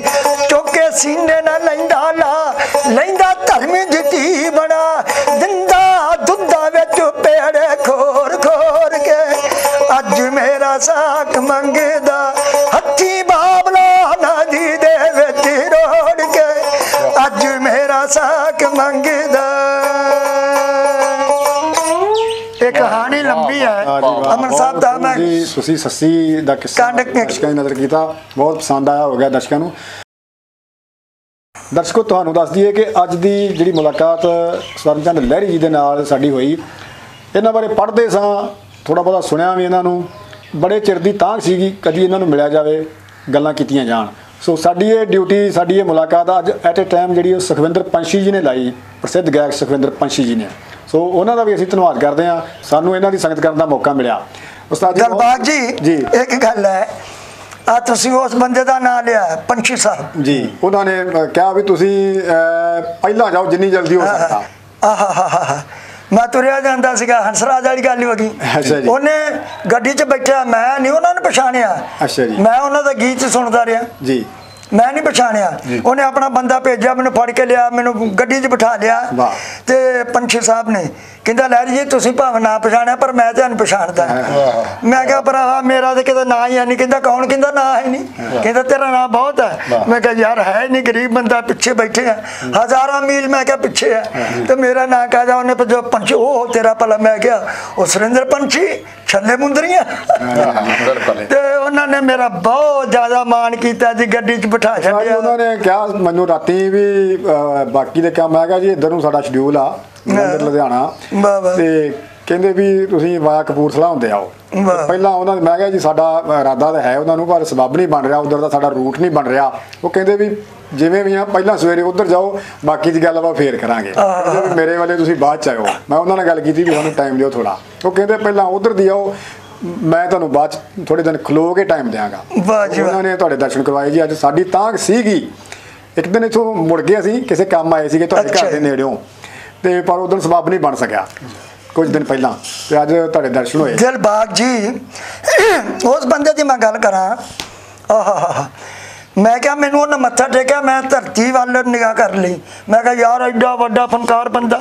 ਆ ਟੁੱਟੇ ਜਿਹੇ ਬੰਦੇ ਨੂੰ ਕਿੱਡਾ ਇਹਨੇ ਸਕਾਰ ਕਹਿੰਦਾ ਰਾਜ? ਜੀ ਮੈਂ ਕਿਹਾ ਉਸਤਾਦ ਲੋਕ ਤੇ ਕਹਿੰਦਾ ਨਹੀਂ ਮੈਨੂੰ ਉਸਤਾਦ ਨਹੀਂ ਕਹਿਣਾ। ਹੈ ਕਹਿੰਦਾ ਤੁਸੀਂ ਪੰਛੀ ਕਹੋ ਹੈ ਏਡਾ ਵੱਡਾ ਮਾਣ ਤਾਂ ਮੈਂ ਆਪਣੇ ਆਪ ਦੇ ਅੰਦਰੋਂ ਅੰਦਰ ਯਾਰ ਏਡਾ ਵੱਡਾ ਫਨਕਾਰ ਬੰਦਾ ਕਿੱਥੋਂ ਮੈਨੂੰ ਲੈ ਕੇ ਆ ਬੰਦਾ ਭੇਜ ਕੇ? ਮੈਂ ਉਹਨਾਂ ਦਾ ਕਿਹੜੀ ਜ਼ਬਾਨ ਦੇ ਨਾਲ ਧੰਨਵਾਦ ਕਰਾਂ ਜੀ? ਬਹੁਤ ਮਾਣ ਕੀਤਾ ਉਹਨਾਂ ਦਾ ਉਹ ਵੀ ਤੁਹਾਡਾ ਸਤਿਕਾਰ ਕਰਦੇ ਬਹੁਤ ਬੜਾ ਮਾਣ ਕੀਤਾ ਜੀ। ਉਸਤਾਦ ਜੀ ਅੱਜ ਤੱਕ ਦੇ ਗਾਇਕੀ ਸਫ਼ਰ ਦੇ ਵਿੱਚ ਕਿਹੜੇ ਕਿਹੜੇ ਖਾਸ ਸੱਜਣਾਂ ਦਾ ਸਹਿਯੋਗ ਰਿਹਾ? ਤੁਸੀਂ ਮੰਨਦੇ ਹੋ ਕਿ ਤੁਹਾਡੇ ਮਿੱਤਰ ਪਿਆਰਿਆਂ ਦਾ ਜਿਨ੍ਹਾਂ ਨੇ ਬਹੁਤ ਤੁਹਾਡਾ ਸਹਿਯੋਗ ਕੀਤਾ ਹੋਵੇ ਰਿਕਾਰਡਿੰਗ ਵੇਲੇ ਹੋਰ ਗਾਇਕੀ ਦੇ ਪ੍ਰੋਗਰਾਮਾਂ ਦੌਰਾਨ? ਕੋਈ ਜੀ, ਜੀ। ਨਾਂ ਲੈਣੇ ਚਾਹੋ ਤਾਂ ਉਹ ਸਾਨੂੰ। ਅਮਨ ਸਾਹਿਬ ਆ ਤਾਂ ਬਹੁਤ ਵਧੀਆ ਗੱਲ ਕੀਤੀ ਤੁਸੀਂ। ਬੇ ਸੰਜੋਗ। ਤੁਸੀਂ ਵੀ ਪੁੱਛਿਆ ਵੀ ਪ੍ਰੋਗਰਾਮ ਅੱਗੇ ਪੁੱਛਿਆ ਵੀ ਕਿੱਦਾਂ ਤੇਰਾ ਹੁਣ ਚੱਲਦਾ ਹੈ। ਜੀ, ਜੀ, ਇੱਥੇ ਸਾਡੇ ਕਪੂਰਥਲੇ 'ਚ ਦੋ ਬੰਦੇ ਹੈਗੇ ਆ। ਜੀ। ਦੇਵੀ ਤਲਾ ਕਪੂਰਥਲੇ ਦੇ ਵਿੱਚ ਹੀ ਆ। ਦੇਵੀ ਜੀ ਤਲਾਵਾ ਜੀ ਜੀ। ਦੇਵੀ ਤਲਾ ਕਪੂਰਥਲੇ ਵਿੱਚ ਉੱਥੇ ਦੇ ਸਾਡੇ ਭੈਣ ਜੀ ਬਾਬਾ ਜੀ ਰਾਜਵਿੰਦਰ ਕੌਰ ਜੀ। ਤੇ ਬਾਬਾ ਰਸ਼ਪਾਲ ਸਿੰਘ ਜੀ। ਅੱਛਾ ਜੀ। ਮੈਂ ਜਦੋਂ ਵੀ ਡੇਰਾ ਜਾਣਾ ਜੀ ਐਸੀ ਰੱਬ ਦੀ ਕਿਰਪਾ ਉਹ ਚੁੱਪ ਕਰਕੇ ਮੈਨੂੰ 2-3 ਮਹੀਨੇ ਦਾ ਖਰਚਾ ਜੇਬ 'ਚ ਪਾ ਦਿੰਦੇ ਜਦੋਂ ਮੈਂ ਜਾਵਾਂ। ਜਦੋਂ ਜਾਵਾਂ ਉਹਨਾਂ ਪਤਾ ਵੀ ਕਲਾਕਾਰ ਇਹ ਪ੍ਰੋਗਰਾਮ ਇਹਨਾਂ ਦੇ ਘੱਟ ਚੱਲਦੇ ਆ ਤੇ ਬੜੀ ਬੜੀ ਮੇਰੀ ਮਦਦ ਕਰਦੇ ਆ। ਜਿਹੜੇ ਦੋ ਬੰਦੇ ਮੇਰੇ ਹੋਰ ਸੀਗੇ ਮਾਸਟਰ ਹਜ਼ਾਰਾ ਸਿੰਘ ਅੱਛਾ ਜੀ ਉਹ ਵੀ ਕਪੂਰਥਲੇ ਦੇ ਸੀਗੇ ਨਹੀਂ ਜੀ ਉਹ। ਮੇਰੇ ਪਿੰਡ ਵੱਲ ਦੇ ਸੀ ਤੁਹਾਡੇ ਪਿੰਡ ਵਾਲੇ ਤਾਰਾ ਸਿੰਘ ਅਜੇ ਤੱਕ ਹਰ ਸਰਦਾਰ ਹਰਬੰਸ ਸਿੰਘ ਜੀ ਉਹ ਬੇਰ ਸਾਹਿਬ। ਪੱਕੇ ਸੇਵਾਦਾਰ। ਲੱਗੇ ਆ। ਉਹ ਵੀ ਬਹੁਤ ਮੇਰੀ ਮਦਦ ਏਦਾਂ ਕਰ ਦਿੰਦੇ ਵੀ ਕਲਾਕਾਰਾਂ ਦਾ ਪ੍ਰੋਗਰਾਮ ਇਹਦਾ ਘੱਟ ਹੈ। ਬੜੀ ਮਦਦ ਕਰ ਦਿੰਦੇ ਮੈਂ ਉਹਨਾਂ ਦਾ ਬਹੁਤ ਬਹੁਤ ਧੰਨਵਾਦ ਕਰਦਾ ਗਾ ਜੀ। ਤੇ ਅਜੇ ਤੱਕ ਬੰਦੇ ਹੈਗੇ ਤੁਹਾਡੇ ਵਰਗੇ ਜੇ ਜਿੱਦਾਂ ਤੁਸੀਂ ਅੱਜ ਮੇਰੇ ਕੋਲ ਆਏ ਹੋ ਬਹੁਤ ਬਹੁਤ ਧੰਨਵਾਦ ਤੁਹਾਡੇ ਦਰਸ਼ਨ ਕਿੱਥੇ ਹੋਣੇ ਸੀ ਜੀ, ਜੀ। ਹਾਂ ਜੀ ਜੀ, ਇਹ ਦਿਲਬਾਗ ਜੀ ਤੁਹਾਡੇ ਦਰਸ਼ਨ ਨਹੀਂ ਜੀ, ਸਾਹਮਣੇ ਦਰਸ਼ਨ ਕੀਤੇ ਤੁਹਾਡੇ ਇੱਥੇ ਸਾਹਮਣੇ ਪ੍ਰੋਡਿਊਸਰ ਸਾਹਿਬ ਬੈਠੇ ਆ। ਇਹ ਜਿਹੜੀਆਂ ਰੂਹਾਂ ਹੈ ਮਹਾਨ ਰੂਹਾਂ। ਸਾਰੇ ਹਿੰਦੁਸਤਾਨ ਚ ਕਮਾਉਣ ਵਾਲੀਆਂ ਰੂਹਾਂ ਹੈ। ਮੈਂ ਤਾਂ ਹੱਥ ਜੋੜ ਕੇ ਬਹੁਤ ਬਹੁਤ ਧੰਨਵਾਦ ਕਰਦਾ ਹਾਂ। ਕਿ ਮੇਰਾ ਅੱਜ ਤੁਸੀਂ ਚਰਨ ਪਾਏ ਹੋ ਮੈਂ ਬਹੁਤ ਖੁਸ਼ ਹਾਂ। ਹੋਰ ਰੰਜਨਾ ਕੁਮਾਰੀ ਜੀ ਨਾਲ ਮਾਟ ਪ੍ਰੇਮ ਪ੍ਰੇਮਨਾਥ ਪ੍ਰੇਮੀ ਜੀ ਉਹ। ਇਸ ਵੇਲੇ ਹੈ ਨਹੀਂ। ਅੱਛਾ ਜੀ। ਉਹ ਜੱਗ ਚ ਨਹੀਂ। ਪ੍ਰਗਟ ਤੇਜੀ ਹੋਣਾ ਉਹਨਾਂ ਤੇ ਮੈਂ ਆ ਰਿਹਾ ਜੀ। ਤੇ ਪ੍ਰਗਟ ਤੇਜੀ ਜੀ ਤਾਂ ਮੇਰੇ ਕੋਲ ਹੀ ਰਿਹਾ ਜੀ। ਅੱਛਾ ਜੀ। ਇੱਥੇ ਆ ਟੁੱਟਾ ਜਿਹਾ ਜਿਹੜਾ ਮਕਾਨ ਤੇ ਦਿਖਾਇਆ ਆ ਟੁੱਟਾ ਜਿਹਾ ਤੁਹਾਡੇ ਕੋਲ ਹੀ ਆ ਜੀ। ਇੱਥੇ ਮੈਂ ਪ੍ਰਗਟ ਤੇਜੀ ਜੀ ਨੂੰ ਕਿਹਾ ਮੈਂ ਕਿਹਾ ਯਾਰ ਮੈਂ ਤਾਂ ਕਪੂਰਥਲੇ 'ਚ ਬੈਠਾ। ਜੀ। ਤੇਜੀ ਜੀ ਤੂੰ ਗਾਉਂਦਾ ਬੜਾ ਵਧੀਆ। ਹੈ ਤੇ ਮੈਂ ਕਿਹਾ ਜਾ ਲੁਧਿਆਣੇ ਚਲ ਜਾ। ਮੈਂ ਕਿਹਾ ਜਾ ਕੋ ਤਾਂ ਪੈੜਾ ਮਾਰ ਲਾ ਉਹ ਸੈਂਟਰ ਮੈਂ ਕਿਹਾ ਕਲਾਕਾਰਾਂ ਦਾ। ਤੇ ਮੈਂ ਕਿਹਾ ਜਾ ਜਾ ਕਾਰ ਹੋ ਜੂਗੀ। ਤੇ ਕਹਿੰਦਾ ਯਾਰ ਮੈਂ ਕੀ ਮੈਂ ਕਿਹਾ ਚਲੇ ਜਾ ਤੂੰ। ਭਾਵੇਂ ਪੈਸੇ ਨਹੀਂ ਕਿਤੇ ਫੜ ਫੜ ਕੇ ਮਾੜਾ ਮੋਟਾ ਜਾ ਕੇ ਕਲਾਕਾਰਾਂ ਨੂੰ ਮਿਲ। ਤੇ ਤੇਰੀ ਆਪੇ ਗੱਲਬਾਤ ਹੋ ਜੂ ਵਾਹ ਜੀ। ਲੋ ਇਸ ਵੇਲੇ ਉੱਥੇ ਬੈਠਾ। ਕਿਰਪਾ ਇਹ ਗੁਰੂ ਦੀ ਕਿਰਪਾ ਹੈ ਮਹਾਰਾਜ ਦੀ ਕਿਰਪਾ ਹੈ ਪਰ ਸਮਾਪਤੀ ਤੋਂ ਪਹਿਲਾਂ ਮੇਰੇ ਇੱਕ ਨਾ ਸਵਾਲ ਕਦੋਂ ਦਾ ਦਿਮਾਗ ਸੀ। ਜਿੱਦਾਂ ਤੁਸੀਂ ਦੱਸਿਆ ਵੀ ਤੁਹਾਡੇ ਉਸਤਾਦ ਜੀ ਹਜੇ ਹੈਗੇ ਹਾਂਜੀ ਕਦੇ ਉਹਨਾਂ ਨਾਲ ਮੇਲ ਮਿਲਾਪ ਹੁੰਦਾ ਜਾਂ ਕਦੇ ਕੋਈ ਉਸਤਾਦਾਂ ਨਾਲ ਹਾਂਜੀ। ਹਾਂਜੀ ਮੈਂ ਮਿਲਣ ਜਾਣਾ ਉਹਨਾਂ ਨੂੰ ਅੱਛਾ। ਮਿਲਣ ਜਾਣਾ ਹੈ ਹੋ ਗਿਆ ਬਿਰਧ ਜੀ। ਜ਼ਿਆਦਾ ਬਿਰਧ ਹੋ ਗਿਆ ਹਾਂਜੀ ਬਿਰਧ ਹੋ ਗਿਆ ਮੈਂ ਮਿਲਣ ਜਾਣਾ ਹੈ ਜੀ। ਤੇ ਪਰ ਜਿੰਨਾ ਉਹਨਾਂ ਕੋ ਰਾਗ ਸੀ ਨਾ ਜਿਹੜਾ ਮੈਂ ਸੁਣਾਇਆ ਸੱਸੀ ਪੁੰਨੂ ਉਹਨਾਂ ਕੋ ਇੰਨਾ ਰਾਗ ਹੁੰਦਾ ਵੀ ਉਹਨੂੰ ਅੱਗੇ ਬੋਲਦੇ ਸੀ ਕੜੇ। ਜਿਹਨੂੰ ਆਪਾਂ ਗੀਤ ਕਹਿੰਦੇ। ਕਹਿਣਾ ਤੇਰੇ ਕੋ ਮਿਰਜੇ ਦੇ ਕਿੰਨੇ ਕੜੇ ਆ। ਕਿਸੇ ਨੇ ਕਹਿਣਾ ਮੇਰੇ ਕੋ 15 ਕੜੇ ਆ। ਕਿਸੇ ਨੇ ਕਹਿਣਾ ਤੇਰੇ ਕੋ ਹੀਰ ਦੇ ਕਿੰਨੇ ਕੜੇ ਆ। ਕਿਸੇ ਨੇ ਕਹਿਣਾ ਮੇਰੇ ਕੋ 20 ਕੜੇ ਇਹ ਲੜੀ ਅੱਛਾ ਲੜੀਵਾਰ ਜਿਹਨੂੰ ਰਾਗ ਕਹਿੰਦੇ ਹੁੰਦੇ ਸੀ। ਤੇ ਜੇ ਮਿਰਜ਼ਾ ਸ਼ੁਰੂ ਕਰ ਦੇਣਾ ਤਾਂ ਦੋ ਤਿੰਨ ਘੰਟੇ ਗਾਈ ਜਾਣਾ। ਸੱਸੀ ਗਾਉਣੀ ਤਾਂ ਦੋ ਤਿੰਨ ਸੱਸੀ ਘੰਟੇ ਗਾਈ, ਇਹ ਉਹਨਾਂ ਜ਼ਮਾਨੇ 'ਚ ਕੜੇ ਕਹਿੰਦੇ ਸੀ। ਕਲੀ ਕਹਿੰਦੇ ਮਾਣਕ ਦੀ ਕਲੀਆਂ ਗਾਉਂਦੇ ਹੁੰਦੇ ਜੀ, ਸੀ। ਤੇ ਇਹ ਕਲੀਆਂ ਬਾਕੀ ਇੱਕ ਹੋਰ ਆ ਜੀ ਧਾਰਮਿਕ ਗੀਤ ਮੈਂ ਗਾਉਂਦਾ ਹਾਂ ਮੇਰਾ ਮੰਨਦਾ ਹੈ ਵੀ ਅੱਗੇ ਮੈਂ ਸੁਣਾਇਆ ਜੀ ਜੀ, ਜੀ। ਤੇ ਦੋ ਕੁ ਬੋਲ ਹੋਰ ਮੈਂ ਜੇ। ਤੁਸੀਂ ਕਹ ਪਰ ਉਹ ਮੈਂ ਉਹ ਵੀ ਸਿਰ ਢੱਕ ਕੇ ਗਾਉਣਾ ਜੀ, ਜੀ, ਜੀ ਉਹ ਹੈਗੇ ਆ ਜੀ ਬਾਬਾ ਜੀਵਨ ਸਿੰਘ ਜੀ ਦੇ ਜੀ ਜੀ। ਜਦੋਂ ਦਿੱਲੀੋਂ ਸੀਸ ਲੈ ਕੇ ਆਇਆ ਜੀ। ਮੈਂ ਅਨਪੜ੍ਹ ਬੰਦਾ ਜੀ। ਪਰ ਤੁਹਾਡੀ ਦਾਤ ਦੁਨੀਆ ਦੀ ਦਾਤ ਪਿਆਰਿਆਂ ਸੱਜਣਾ ਦੀ ਦਾਤ ਗੁਰੂ ਮਹਾਰਾਜ ਦੀ ਖੁਦਾ ਦੀ ਦਾਤ। ਤੇ ਮੈਂ ਆਪ ਹੀ ਮਾੜਾ ਮੋਟਾ ਬਣਾਉਂਦਾ। ਆ ਵੀ ਜਿਹੜਾ ਪਹਿਲਾਂ ਮੈਂ ਸੁਣਾਇਆ ਧਾਰਮਿਕ। ਅਲ ਮਸਜਿਦ ਦਾ। ਇਹ ਵੀ ਮੇਰੇ ਆਪਣੇ ਹੀ ਹੈ ਜੀ। ਇਹ ਗੁਰੂ ਦੀ ਦੇਣ ਹੈ ਜੀ, ਮਹਾਂਪੁਰਸ਼ਾਂ ਦੇਣ ਮੈਂ ਕੁਛ ਨਹੀਂ ਜੀ ਤੇ ਆਉਣ ਦਿਓ ਜੀ ਸਲਾਮ ਦਰਸ਼ਕਾਂ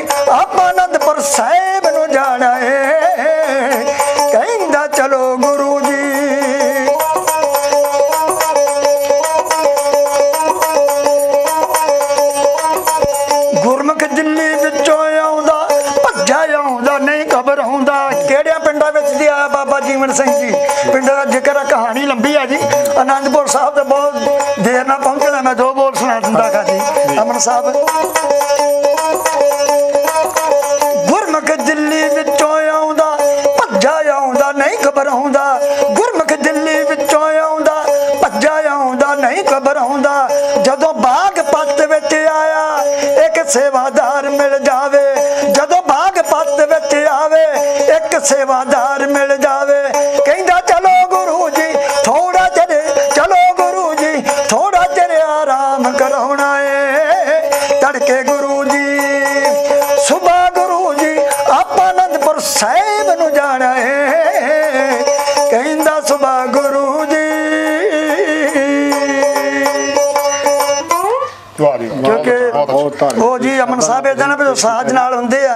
ਉਹ ਸਾਥ ਮਿਲਦਾ ਤਾਂ ਬੰਦਾ ਭਰ ਕੇ ਗਾਉਂਦਾ ਜੀ। ਤੇ ਇਸ ਤਰ੍ਹਾਂ ਫਿਰ ਏਦਾਂ ਹੀ ਆ ਜੀ।